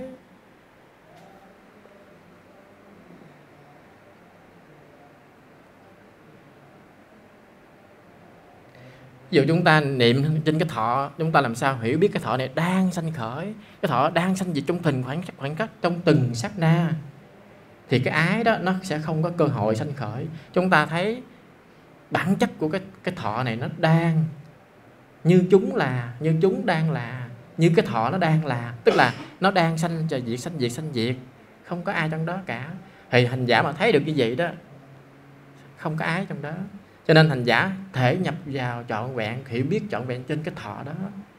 Hiểu biết trọn vẹn trong thọ đó thì hành giả sẽ thấy được cái dính mắc ở trong cái thọ đó, chính là ái, thủ, vậy đó. Mà muốn có, muốn hiểu được cái thọ thì chúng ta phải gì? Trời phải tu phải tu lắm.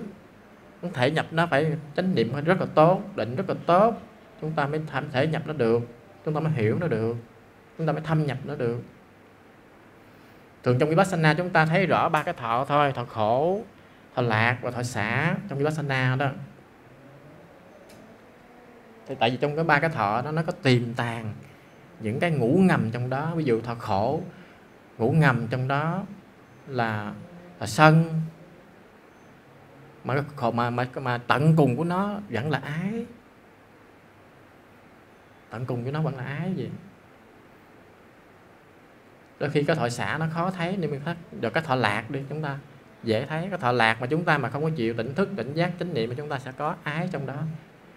Thích thú cái tham trong đó cái tham trong cái thọ. Cái phần tiếp theo cái phần dục. Dục ái và dục thủ nè. Dục ái và dục thủ á, nó đều là có cái tâm sở tâm sở tham đó. Dục ái nó ví như cái mầm non đó, đó. mầm non mình mới nhú ra nó dục ái vậy đó còn cái dục thủ là sao? Nó giống như là nó đã cái mầm đó nó đã phát triển nó đã có rễ nó bám chắc rồi rồi gọi là dục thủ. Ví dụ như một cái một cái cái cái cái hạt mầm này nó vừa khởi xanh lên nó vừa nhú lên thì cái đó là dục ái. Chứ ví dụ thôi nha chứ không phải nói là dục ái ví dụ. Ví dụ tượng trưng nó họ nó, nó xanh lên nó, nó phát triển lên nó nên nó, cái mò nó mầm nó xanh lên thì cái đó nó là dục ái bắt đầu từ khi cây rễ nó bám sau vô lòng đất cái đó là dục thủ nên nhớ rồi đó. Thì đó là ví dụ thôi nhưng mà cái dục ái đây là bất cứ cái gì đó nó khởi sanh lên thích thú trong đó dục ái.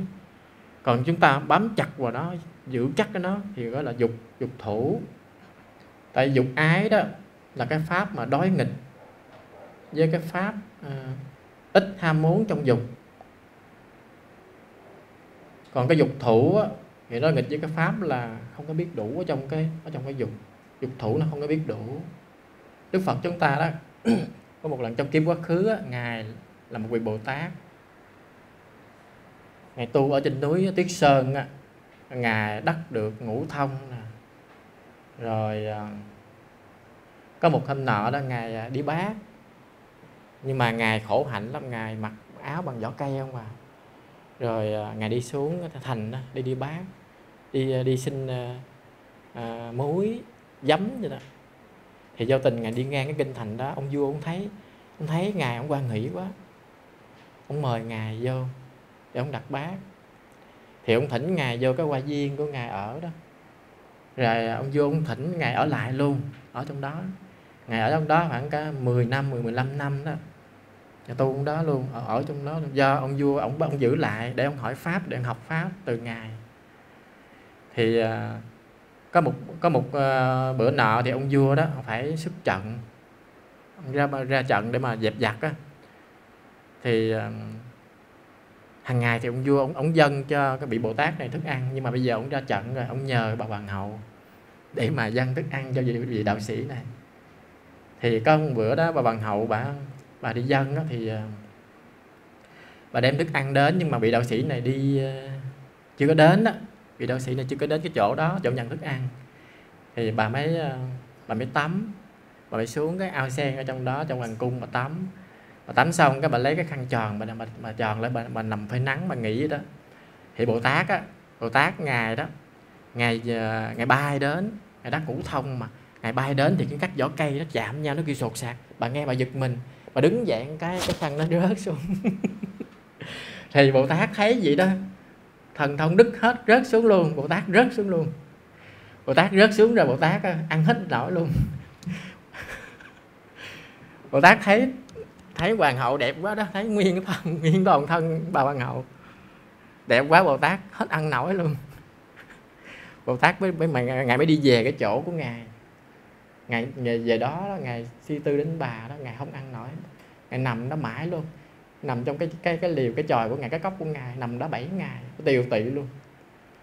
Tiều tị đến 7 ngày cái ông vua ông về tới. Ông vua ông hỏi cho sao tiều tị gì ông kể ra vậy đó. Thì ông vua nói, được rồi, ông sẽ dâng hoàng hậu cho cho cho đạo sĩ. Ông vua ông nói, ông sẽ dâng. Mà thiệt, hoàng hậu cũng nghe lời vua cũng đi theo đạo sĩ nó dẫn đi.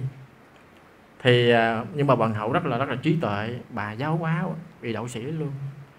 Bà nói khi mà hai tức là hai người ông vua đã um, gọi là giống như là kết cho vị này vợ chồng đó đạo sĩ với hoàng hậu trở thành vợ chồng. Thì khi mà à, đến khi mà động phòng đó, thì à, bà hoàng hậu mới nói một câu nè. Ông không ông đó không phải là đạo sĩ. Ông mất đạo sĩ rồi ông giật mình lại liền. Ông giật mình ông tỉnh lại. Ông tỉnh lại cái ông ông ờ, thiết lập cái tâm của ông ly dục liền. Ông đạt được thần thông ông bay đi luôn. Tại vì ông tại vì người ta đã tu cái sẵn rồi có thông sẵn rồi cho nên bà nói một câu ông tỉnh ngộ lại. Vậy đó. Cho nên cái ái đó vậy nguy hiểm không? Chỉ cần chỉ cần nhìn thấy sắc thôi ái nó xanh, mà ái xanh lên là đức thần thông. Vậy đó. Tại ái sanh lên đó là cái trạng thái mà của của định tâm đó. nó nó hoại mà tâm định nó hoại thì thần thông nó đứt luôn nó rớt. Cho nên cái ái nó vậy đó nó nguy hiểm đến mức độ đó nó ảnh hưởng ghê. Tại vì chưa đắc đạo quả mà đắc các tầng thiền chẳng qua là đè nén nó thôi. Đắc đạo quả là đoạn diệt hoàn toàn ái nó không có sanh lại. Do các vị đắc thiền mà các vị tu không có đắc được đạo quả đó thì ái nó vẫn sanh trở lại như thường một lúc nào đó ái nó vẫn sanh trở lại. Mà sanh trở lại thì các thiền định chúng ta hoại cho nên đức phật này nói đó, khó nắm giữ kinh động đó. Theo các dục quay cuồng, lành thai điều phục tâm tâm điều an lạc đến. Cho nên chúng ta làm sao phải điều phục cái tâm chúng ta? Đừng để cái ái nó khởi đừng để chúng ta kinh động theo, chạy theo ngũ dục.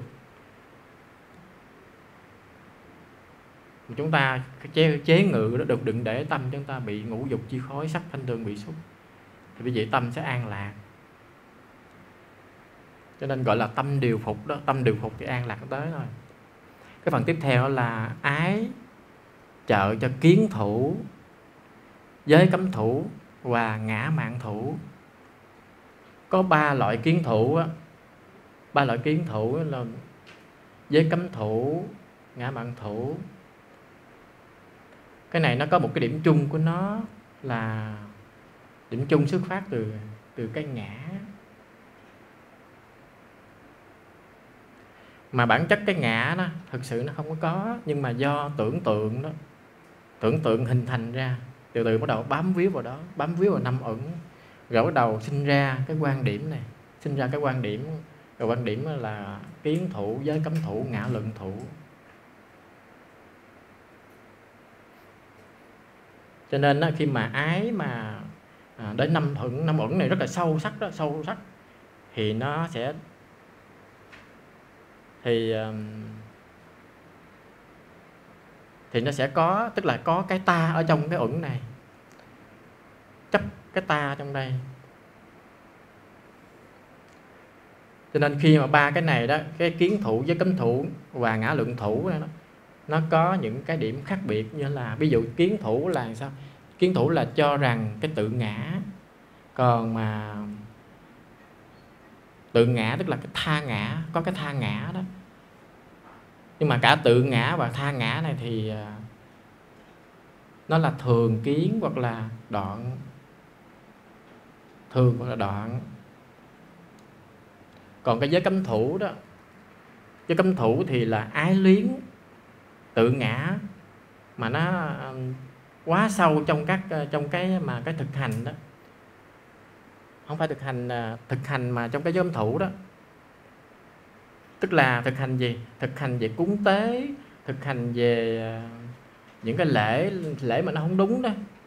Mà con người chấp vô đó quá đó thì đó gọi là giới cấm thủ. Có những người người ta chấp vô là ngay ngay cả bây giờ một một vài nước cũng có như ví dụ như lễ tế thần đó họ giết súc sanh rất là nhiều. Đây là giới cấm thủ. Ví dụ như họ nói là uh, giết súc vật đó để tế mặt trời. Đây là gọi là giới cấm thủ. Để mặt trời chiếu sáng ban ánh sáng cho đây là sai sai lầm đây là gọi là giới cấm thủ.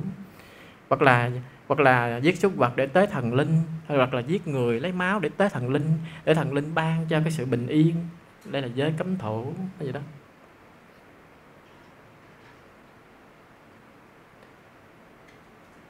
Nhưng mà trong cái giới cấm thủ này nếu mà chúng ta phân tích kỹ đó nó cũng nó có cái thường kiến ở trong đó. Gì đó. Còn cái ngã luận thủ á, thường là đơn thuần là bám víu. Bám víu vào cái à, cái ngã. Do cái ta tưởng tượng làm nó nảy sinh lên. Trong một à, kiếp quá khứ của bồ tát bồ tát tên là chanh đá đó có một lần đó đó um, bồ tát á, là con của ông vua ông vua gọi là ekaraja còn bồ tát có tên là chanh đá chanh đá kumara. Thì à, có một cái lần nọ đức vua đó nằm mộng chim bao thấy là ổng sanh về cảnh trời. Tức là sanh về cõi cõi mà tam thập tam thiên đó cõi đâu sức. Thì khi mà ổng tỉnh mộng thì ổng kể cho à, kể cho mọi người nghe để rồi ông muốn làm cách nào để ông sanh được sanh về đó. Thì trong khi ông kể như vậy đó thì có một cái vị mà tế tự họ ghét họ rất là ghét bồ tát. Tại bồ tát bồ tát là con của ông vua mà. Thì cái ông tế tự này mà ông mới nói là muốn tế muốn ờ, muốn được sanh về cõi trời đó thì phải à, làm cái lễ tế tế thần đó. Tức là bắt bốn bà bằng hậu giết chết để tế cho thần. Rồi ờ, bắt những bốn công chúa, châu dê này kia để tế thần. Làm như vậy thì bệ hạ sẽ sanh về cõi cõi đau sức đạt còn à, không phải cõi ta bá tinh xá. Cõi đau lợi thiên á. Ừ. Thì ông vua ông cũng nghe lời, ông tại vì ông muốn sanh về cõi đó mà. Cho nên khi mà bắt đầu chuẩn bị lễ ờ, tế lễ thì có một vị vua chờ đến thích đi xuống giải cứu. Đó cho nên khi mà cái này đó, chấp cái tà kiến rất là nguy hiểm ở chỗ đó, đó tà kiến giới cấm thủ. Tiếp theo và sẽ nói nói về cái thọ. Cái bài kinh này á đồ giảng từng phần từng phần nó quá trời nhiều luôn á. Nhưng mà không giảng thì sẽ không có hiểu. Tại vì cái, cái bài kinh này rất là khó thực sự rất là khó rất là khó hiểu. Tránh chi kiến mà đâu phải dễ đạt được tránh chi kiến. Trong cái phần thọ đó thì trong chánh kinh nói là à, thế nào là thọ? Chánh kinh có hỏi thế nào là thọ? Thế nào là tập khởi của thọ? Còn thế nào là đoạn diệt của thọ? Thế nào là con đường đưa đến đoạn diệt của thọ? Thì ngài sách là phát ngài dạ ngài giảng là thọ sanh từ nhãn xúc rồi sanh từ nhĩ xúc sanh từ tỷ xúc sanh từ thiệt xúc. Thọ sanh từ thân xúc thọ sanh từ ý xúc. Rồi tập khởi của xúc đó từ tập khởi của xúc sẽ có tập thợ tập khởi của thọ. Rồi à, từ đoạn diệt của xúc sẽ có đoạn diệt của thọ. Và từ đó đó con đường bát chánh đạo sanh khởi nó sẽ đoạn diệt đoạn diệt xúc. Đưa đến đoạn diệt của xúc. Cái đó là trong chánh kinh đó, trong cái à, à, bài bài kinh bài kinh ghi như thế. Cho nên ở đây cái thọ là gì? Thọ ở đây đó có nghĩa là sự hiểu biết về cái cái, cái sự cảm giác ở trong đó. Cái thọ ở đây là thường là thọ hưởng ở trong đó thụ trong đó là thọ. Cảm thọ ở đây đó hay là sự nhận lãnh cái sự hiểu biết ở trong cái cảm thọ đó, đó gọi là cũng là gọi là thọ có một số dịch về, thọ này là thọ họ dịch là cảm giác cũng không đúng nha cảm giác không đúng, dịch cảm giác không đúng. Thọ là cái sự thọ lãnh nhận thức ở trong đó, gọi là thọ. Thọ, cái tiếng Bali Vedana đó. Cho nên khi mà Đức Phật ngài nói cái sự được cảm thọ thì cái đó gọi là thọ. Cái gì được cảm thọ thì gọi là thọ. Thì thọ nó có gì? Nó có mấy thọ? Thọ khổ nè, thọ lạc, thọ khổ và thọ không khổ không lạc. Không khổ không lạc tức là thọ xả đó. Cái bốn tính chất có cái bốn tính chất của thọ này. cái bốn thực tánh đó, thực tính của thọ. Trong thọ đó thấy thực, thực tính thứ nhất đó là cái trạng thái. Trạng thái của thọ là làm sao? Là thường hưởng cái cảnh. Rồi cái phận sự của thọ là sao? Thọ dụng cái cảnh phận sự của thọ rồi thành tựu của thọ khi mà nó thành tựu được cái thọ rồi nó hiện ra cái thọ lạc hoặc là thọ khổ. Lúc đó là nó thành tựu cái thọ của nó rồi. Tại vì còn cái thọ xả chúng ta rất là khó thấy nhưng mà thường thường thấy rõ nhất là thọ lạc thọ khổ. Rồi cái nhân gần đối với cái thọ đó là tức là cái nhân cần thiết á, hay là gọi là nhân gần với cái thọ đó là xúc. Tại vì có xúc đưa đến đưa đến thọ xúc làm nhân làm duyên cho thọ. Cho nên cái nhân gần của thọ cái nhân cần thiết cho thọ là tức là xúc. Xúc là sao? Là cái sự tiếp xúc đó. tiếp xúc xúc chạm đó. tiếp xúc nó, nó nó tạo nên cái sự xúc chạm và xúc chạm đó nó đến cái thọ.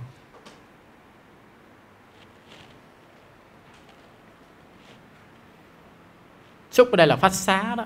Phát xá phát xá bách chá gia về đa na là vậy đó. Xúc làm duyên cho thọ phát xá bách chá gia về đa na về đa na bách chá tan ha tan ha bách chá u ba đà ná tức là xúc làm duyên cho thọ. Thọ làm duyên cho ái. Ái làm duyên cho thủ. Phát xá về đa na phát xá bách chá gia về đa na về đa na bách chá tan ha tan ha bách chá u ba đà ná xúc làm duyên cho thọ nên nhớ rồi đó. Cho nên um, có một vị tôi hỏi cái ờ, cái ờ, cái cô Fikuni á, Fikuni tên là Ừ, Dhammadina. Cô này đắc quả anh hàm á, thì có người hỏi là à, trong cái thọ trong cái thọ xã đó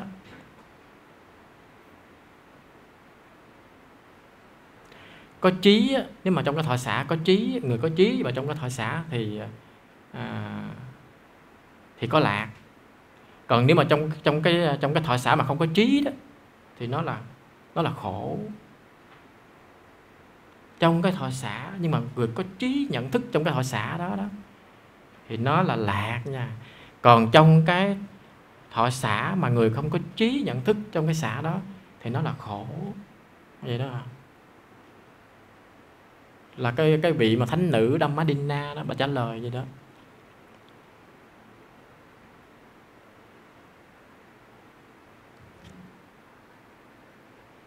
Thường cái mà cái xả thọ đó ở trong cái cái thiện.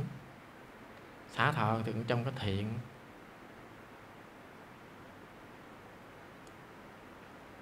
Tức là khi mà trí có quan sát đó trí mà quan sát thì nếu mà trí quan sát về thọ trong cái thọ niệm xứ á, thì ờ, thường thường á ở trong cái thiện chúng ta nên nên quan sát với cái xả cái thọ xả trong pháp thiện rồi à, trong cái mà trong thường thường trong pháp bất thiện đó, ở trong bất thiện nó là cái thọ thọ khổ. Tiếp theo sẽ nói về các thọ, nhất là thọ lạc. Thọ lạc là xúc khá vedana. Thọ lạc là sao? Tức là làm cho cái tâm mình nó vui thích. Cái tâm mà cái thân cái thân lạc, khi nhận cái cảnh lạc. Tức là cái tâm nó vui thích nó khui thích khi mà cái thân nhận lãnh. Khi mà cái thân là lạc nhận cảnh đó.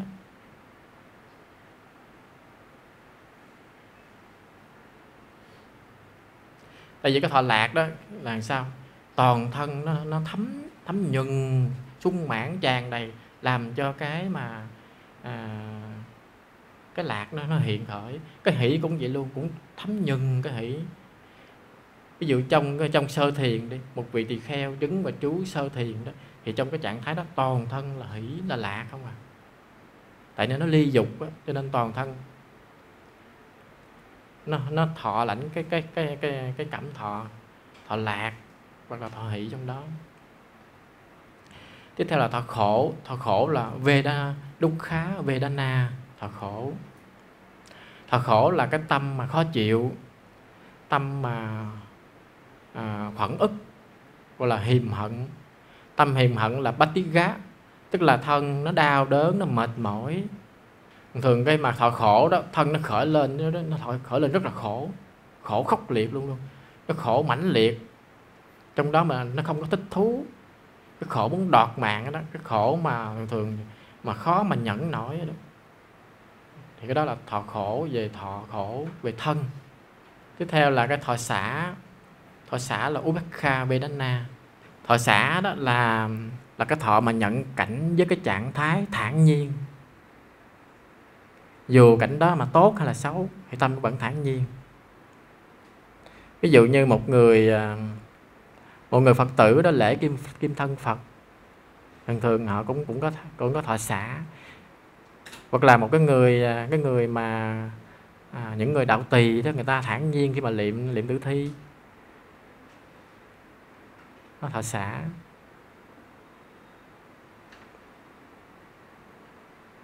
Trong cái thọ nếu mà nếu mà phân tích theo ờ, theo thân theo tâm á, thì nó có năm cái loại thọ lận. Thường thường mà chúng ta đó chúng ta trong vipassana chúng ta thấy ba loại thọ thôi nhưng mà chúng, chúng ta thấy ở trong ở trong tâm. Còn nếu mà phân tích theo cả thân cả tâm trong đó liên kết với nhau thì nó có năm năm loại thọ. Thứ nhất là thọ hỷ tức là, là somanasa Ờ, thọ hỷ somanasa. Somanasa. Tức là thọ hỷ là sao? Là nhận lãnh cái sự hân hoan, hài lòng ở nơi tâm. Và cái thọ tiếp theo là thọ u. Thọ u là đô manasa tức là nhận lãnh cái khó chịu, rồi sầu khổ ức ức ờ, tức ờ, phẫn nộ ở nơi tâm. Rồi thọ lạc là xúc khá, là nhận lãnh cái sự sảng khoái an lạc của thân. Và thọ khổ là đúc khá nhận lãnh cái sự mệt mỏi, đau đớn, không an lạc của thân. Thọ xả là ubekha vedana. Thường thọ xả khó thấy lắm.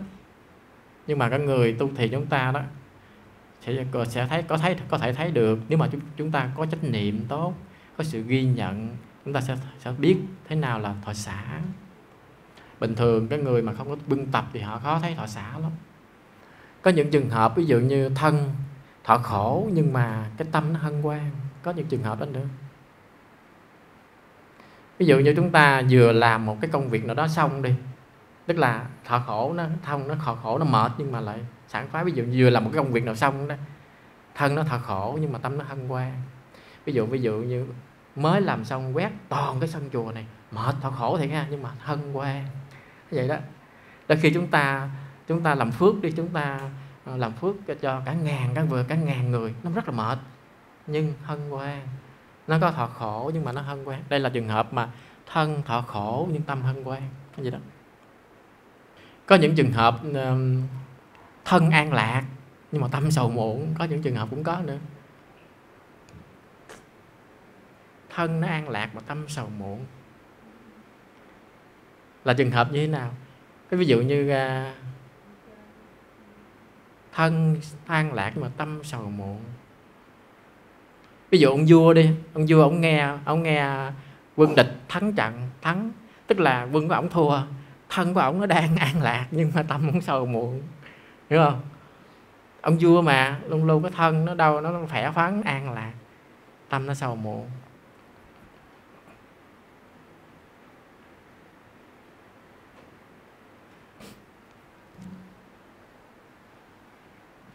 Có người có một vị có người hỏi đã ngài Sa Lợi Phất có hỏi là khi nào một vị thánh đệ tử mà đạt đến an trú hỷ do viễn ly?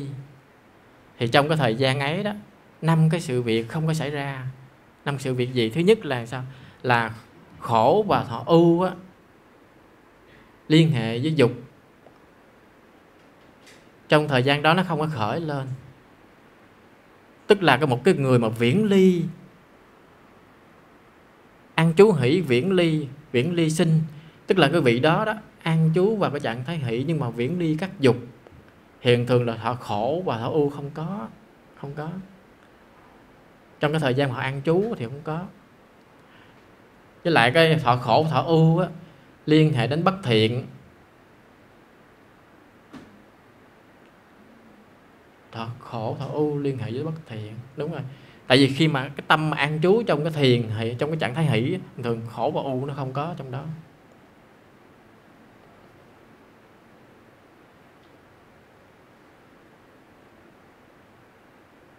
Thọ lạc và thọ hỷ, liên hệ đến bất thiện. Thọ lạc và thọ hỷ, liên hệ bất thiện.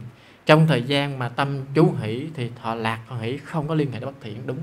Không có sai rồi thọ khổ và thọ ưu liên hệ đến thiện. Khổ và ưu liên hệ đến thiện. Khi mà tâm chú hỷ thì khổ, có có trường hợp khổ và ưu liên hệ đến thiện. Có có trường hợp đó. Ví dụ trong vipassana chúng ta đang chú hỷ đi, nhưng mà đôi khi chúng ta thấy thân chúng ta vẫn có đau, nhưng mà vẫn có cái pháp hỷ.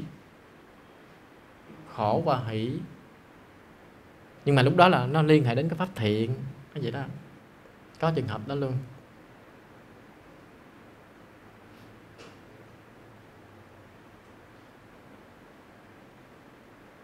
Tiếp theo là thọ phân tích theo à, các cửa cửa đây, cửa môn đó, các cảnh đây, các cửa tiếp xúc đó, phát sanh đó. Ví dụ như nhãn nhãn xúc, thọ tức là thọ sanh lên từ nhãn xúc. Thọ sanh lên từ nhãn xúc. Thì khi mà lúc đó nó có gì? Nó có thần kinh nhãn nè. Thần kinh nhãn nó chạm vào cảnh sắc. Rồi phát sinh ra cái nhãn thức. Thì cái sự hội tụ ở đây đó, tức là nhãn thức nè, thần kinh nhãn nè, cảnh sắc, thì nó tạo ra cái sự xúc. Cho nên ở đây nói là nó sinh ra cái thọ, gọi là thọ sinh từ nhãn xúc thọ sinh từ nhãn xúc bây giờ mình, chúng ta nhìn cái cảnh đó đi. Thì chúng ta phải, trước trước hết chúng ta có cái nhãn, rồi có thần kinh nhãn. Thần kinh nhãn và có cảnh sắc, cái đó là cảnh sắc. Thì ba cái này hội tụ nó tạo nên cái xúc à. gọi là thọ sanh lên đó thọ sanh từ nhãn xúc hiểu không? Đối với à, đối với cảnh thân cũng vậy luôn. Gồm có gì? Nó cũng có ba pháp. Thứ nhất là sao? À, thần kinh nhĩ của chúng ta. Rồi cảnh thinh cảnh thinh là có âm thanh. Rồi cái ờ, nhĩ thức. Ba cái này. Ba cái này hội tụ với nhau nó sanh ra nó sanh ra cái thọ. Mà cái thọ này gọi là thọ từ nhĩ xúc. Hiểu không? Chịu tư duy chút sẽ hiểu. Cũng không khó đâu.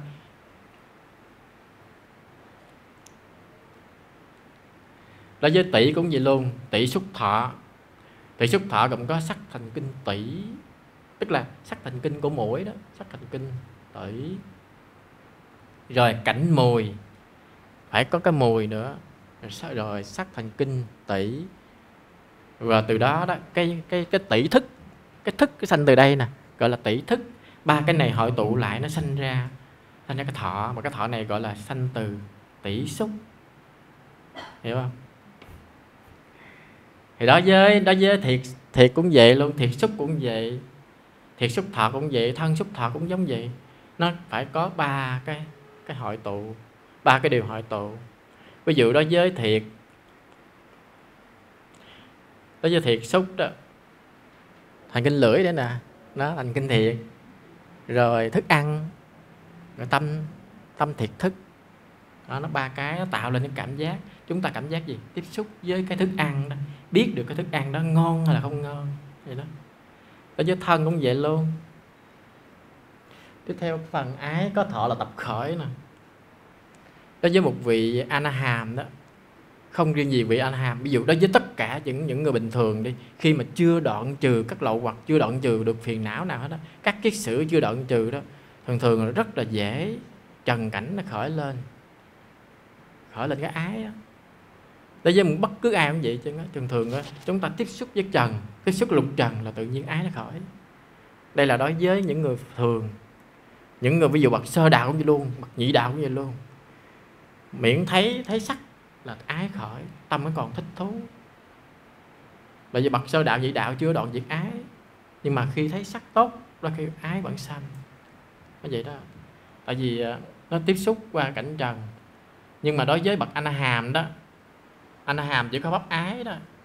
Tức là anh hàm mà vẫn còn thích thú mê ở trên, mê trên những cái gọi là sắc thanh hương vị. Nhưng mà xúc đối với bị anh hàm không còn. Tại tưởng có xúc rồi đưa đến cái thọ. Rồi đưa đến xúc xúc đối với bị anh hàm không còn. Vì anh hàm đó đã đã đoạn diệt cái ái từ trong cái um, cái dục rồi. Bậc anh hàm đoạn diệt đoạn diệt cái dục. Ái dục, cái cái thích cái ai dính mắc ở trong cái dục dục, ngũ dục đó. Bậc anh hàm nó đoạn.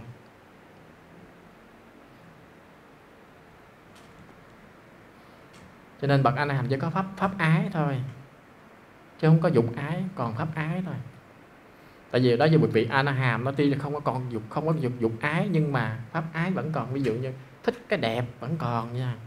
Cho nên bậc anh hàm mới sanh lên cái cõi cái cõi phạm thiên cõi phạm thiên trên cái sắc. Vì đó những cái sắc đẹp trên đó chính và vẫn còn chính mắt trên đó. Gọi là pháp ái. Khi mà cảnh tiếp xúc vào cái cái cửa tức là chúng ta có có có có có năm cửa giác quan sáu cửa giác quan cửa ý nữa. Thường thường cảnh nó chạm vào cửa môn đó. Thì làm sanh khởi một cái một cái lộ trình. Lộ trình gọi là chích tá vi thí, lộ trình tâm á, nó sanh khởi lên. Ví dụ như ờ, cái lộ lộ nhãn môn đi. Lộ nhãn môn gồm có lộ ờ, lộ nói tiếp trước nè, rồi ờ, lộ gom gọn tức là nói tiếp trước à, rồi cái lộ nói tiếp trước cái lộ gom gọn. Hai cái lộ này nó nó bắt cảnh, nó bắt cái cảnh với lại bắt thực tánh của cái pháp. Rồi sau đó cái lộ định nghĩa, lộ định danh, nó sanh lên. Tại vì hai cái lộ sau cùng đó, lộ định nghĩa, lộ định danh đó, nó là nó nó nhận cái cảnh chế định rồi. Thì chính giai đoạn này đó là cái thọ nó hoàn chỉnh, thọ nó hoàn chỉnh rồi khi mà cái thọ hoàn chỉnh thì cái ái nó có mặt. Vậy đó. Cho nên á, chúng ta muốn không có ái đó thì chúng ta làm sao? Đừng có định danh nó. Đừng có định nghĩa nó. Thì chúng ta làm sao? Không có ái. Tức là không nắm giữ tướng chung, không nắm giữ tướng riêng. Chúng ta, ví dụ như mắt thấy, tai nghe, thân xúc chạm, chúng ta biết chỉ biết thôi đừng phân tích nó nữa. Thì nó dừng ở đó. Ái nó không có sanh thọ nó không có sanh. Chúng ta đừng phân tích. À ví dụ như cảm giác cảm giác gì đây cảm giác gì đây. Nghĩ nghĩ coi ngồi. Hồi nó sanh khởi lên cái thọ luôn có ái trong đó. Rồi chúng ta biết thọ chỉ là thọ thôi chúng ta biết ngay lúc đó. Cái biết nó, nó nó hiện tại nó hiểu cái thọ đó rồi nó sẽ qua nó lướt qua lướt qua lướt qua. Nó không có ái sanh. Cho nên khi mà chúng ta mà nắm bắt tướng riêng tướng chung của nó là chúng ta phân tích nó đó bắt đầu do phân tích cho nên nó có sự chế định trong đó có cảnh chế định trong đó rồi có định danh trong đó làm cho cái cảm thọ cũ chấm dứt.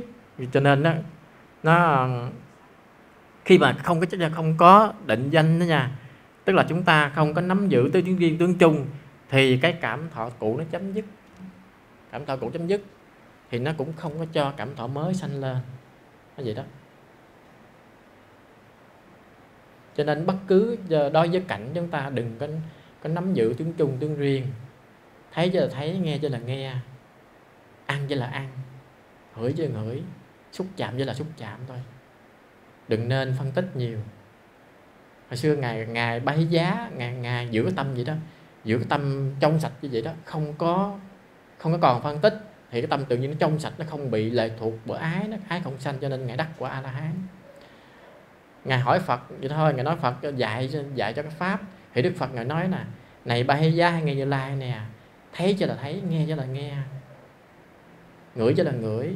Ngài mới vừa nói dứt dứt lời đó, thì ờ, ngài ba hay giá đắc quả a la hán tại vì ngài ba la mật nó đã viên mãn rồi, ngài tu tập quá nhiều rồi, đầy đủ rồi, định tuệ nó đã viên mãn rồi, niệm định tuệ nó đã đầy đủ rồi, cho nên ngài vừa nghe cái ngài giữ tâm bất động đối với với, với sáu cảnh.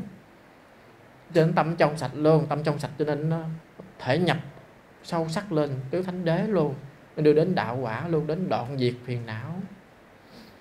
Bởi vì không có định danh không nắm giữ tướng chung tướng riêng thì thọ cũ nó không sanh thọ mới cũng không có sanh. Khi mà thọ không sanh thì ái không có mặt ái không có mặt thì tâm nó tâm định tâm trong sạch thể nhập cho thánh đế luôn. Rồi nghe thấy thấy ờ, quan hỷ muốn chết luôn mà.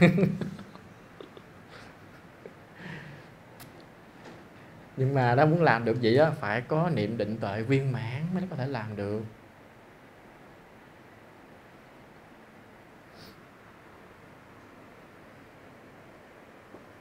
Cho nên khi mà à, do duyên á duyên của mắt á thấy duyên mắt cảnh sắc cái mắt nó thấy cảnh sắc rồi cái nhãn thức nó xanh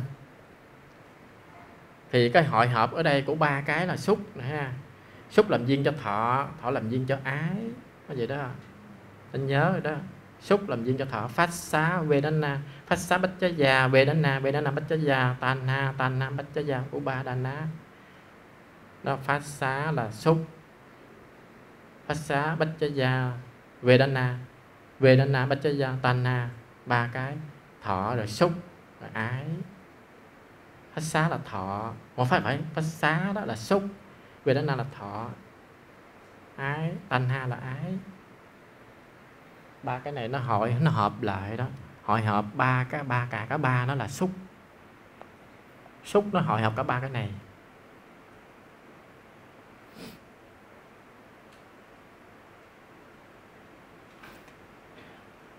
Cho nên khi mà cái từ tập khởi của thọ sẽ có tập khởi của ái. Rồi ờ, từ đoạn diệt của thọ sẽ có đoạn diệt của ái, nó vậy đó.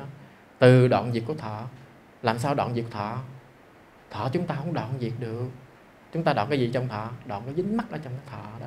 Đoạn cái chấp ở trong cái thọ đó. Đoạn cái ái trong cái thọ đó. Khi mà cái ái đoạn thì cái thọ đó nó mất. Chứ không phải chúng ta đoạn cái thọ. Nên nhớ nha, thọ chỉ là thọ. Mà chúng ta muốn đoạn cái thọ là phải đoạn cái gì? Đoạn cái ái trong cái thọ, đoạn cái chấp ở trong cái thọ đó thì ngay lúc đó đoạn được cái đó thì thọ nó biến mất.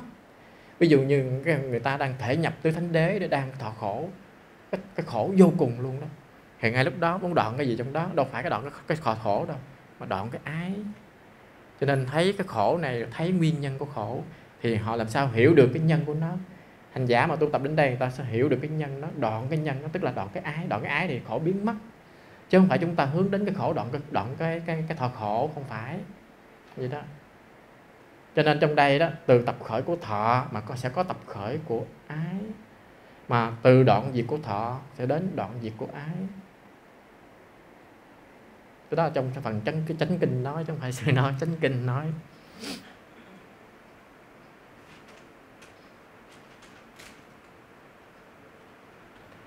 Ở một cái khía cạnh khác đó, khi mà thấy cái thọ đó cũng làm duyên cho bất thiện và cái thiện nghiệp nữa tức là thọ làm duyên cho bất thiện nghiệp và và cả hoặc là thiện nghiệp. Ví dụ thông thường thọ u hay là thọ khổ á, dẫn đến à, dẫn đến tâm tâm sân. Mà một khi tâm sân đó nó sanh lên đó thì à, khó đoạn trừ cái tâm đó lắm. Tâm sân nó sanh lên thì bắt đầu đưa đến đưa đến hiềm hận đưa đến hiềm hận bắt đầu đưa đến tạo cái nghiệp tạo áp nghiệp áp nghiệp về thân áp nghiệp về ngữ thân ngữ tức là lời nói và hành động. Nếu mà một người có trí tuệ đó người ta khi đó khi mà nhận nhận lãnh cái thọ khổ đó bắt đầu người ta quán xét cái nghiệp báo. Rồi bắt đầu quán xét về nhân quả thiện nghiệp để thoát ra cái điều đó ví dụ như khi chúng ta nhận lãnh một cái một cái thọ khổ nào chúng ta làm sao quán xét cái mà, cái nhân quả để tạo cái thiện nghiệp? Chúng ta mới thoát ra được. Chúng ta nếu chúng ta nếu chúng ta mà tạo cái cái cái bất thiện nữa, chúng ta không có thoát nữa, bị kìm cặp trong đó nữa. Cho nên con người mà muốn chúng ta đang khổ đi, chúng ta đang nghèo đi, thì chúng ta quán xét cái gì? Chúng ta quán xét làm sao cái thiện, cái bố thí gì đó, thì từ từ nó sẽ thoát ra chứ bây giờ nghèo mà không chịu bố thí rồi rồi làm ác bất làm ác sát sanh đủ thứ dân thì không bao giờ thoát khỏi cái nghèo. Như vậy đó. Cho nên đó, chúng ta làm sao khi mà thọ lãnh cái sự khổ là chúng ta làm sao phải quán xét cái nhân quả nhân quả rồi tạo cái thiện nghiệp trong đó mới thoát ra cái khổ được. Hiểu không? Đủ thứ rắc rối vậy nha. Bài này quá cho nhiều vấn đề luôn. Đức Phật ngài nói đó một vị tư tỳ khu đó, nào đó, giàu với cái thọ khổ hay là thọ u hoặc là giàu với mà cái mặt tràn đầy nước mắt than khóc nhưng đời sống phạm hạnh vẫn thanh tịnh. Thường thường bị thường thường đó thường thường là sẽ được uh, tán thán. Tán thán vì đó mà có năm pháp có năm cái vấn đề. Thứ nhất là vì đó có đức tin trong thiện pháp ví dụ, dù chúng ta có khổ thế nào chăng nữa mà chúng ta phải có đức tin trong thiện pháp thì chúng ta sẽ được tán thán. Cũng giống như dùng chúng ta nghèo như thế nào mà chúng ta luôn luôn có cái quý giá, chúng ta là sao? Có đức tin trong thiện pháp thì người đó cũng đáng được tán thán. Rồi sao? Có tiếp theo đó là phải hổ thẹn tội lỗi nơi có thiện pháp đó. Biết hổ thẹn tội lỗi người nào hổ thẹn tội lỗi cũng đáng được tán thán. Dù là cái người đó là người nghèo, người thấp kém, mới biết hổ thẹn tội lỗi, đáng được thấp tán thán. Được ghê sợ tội lỗi.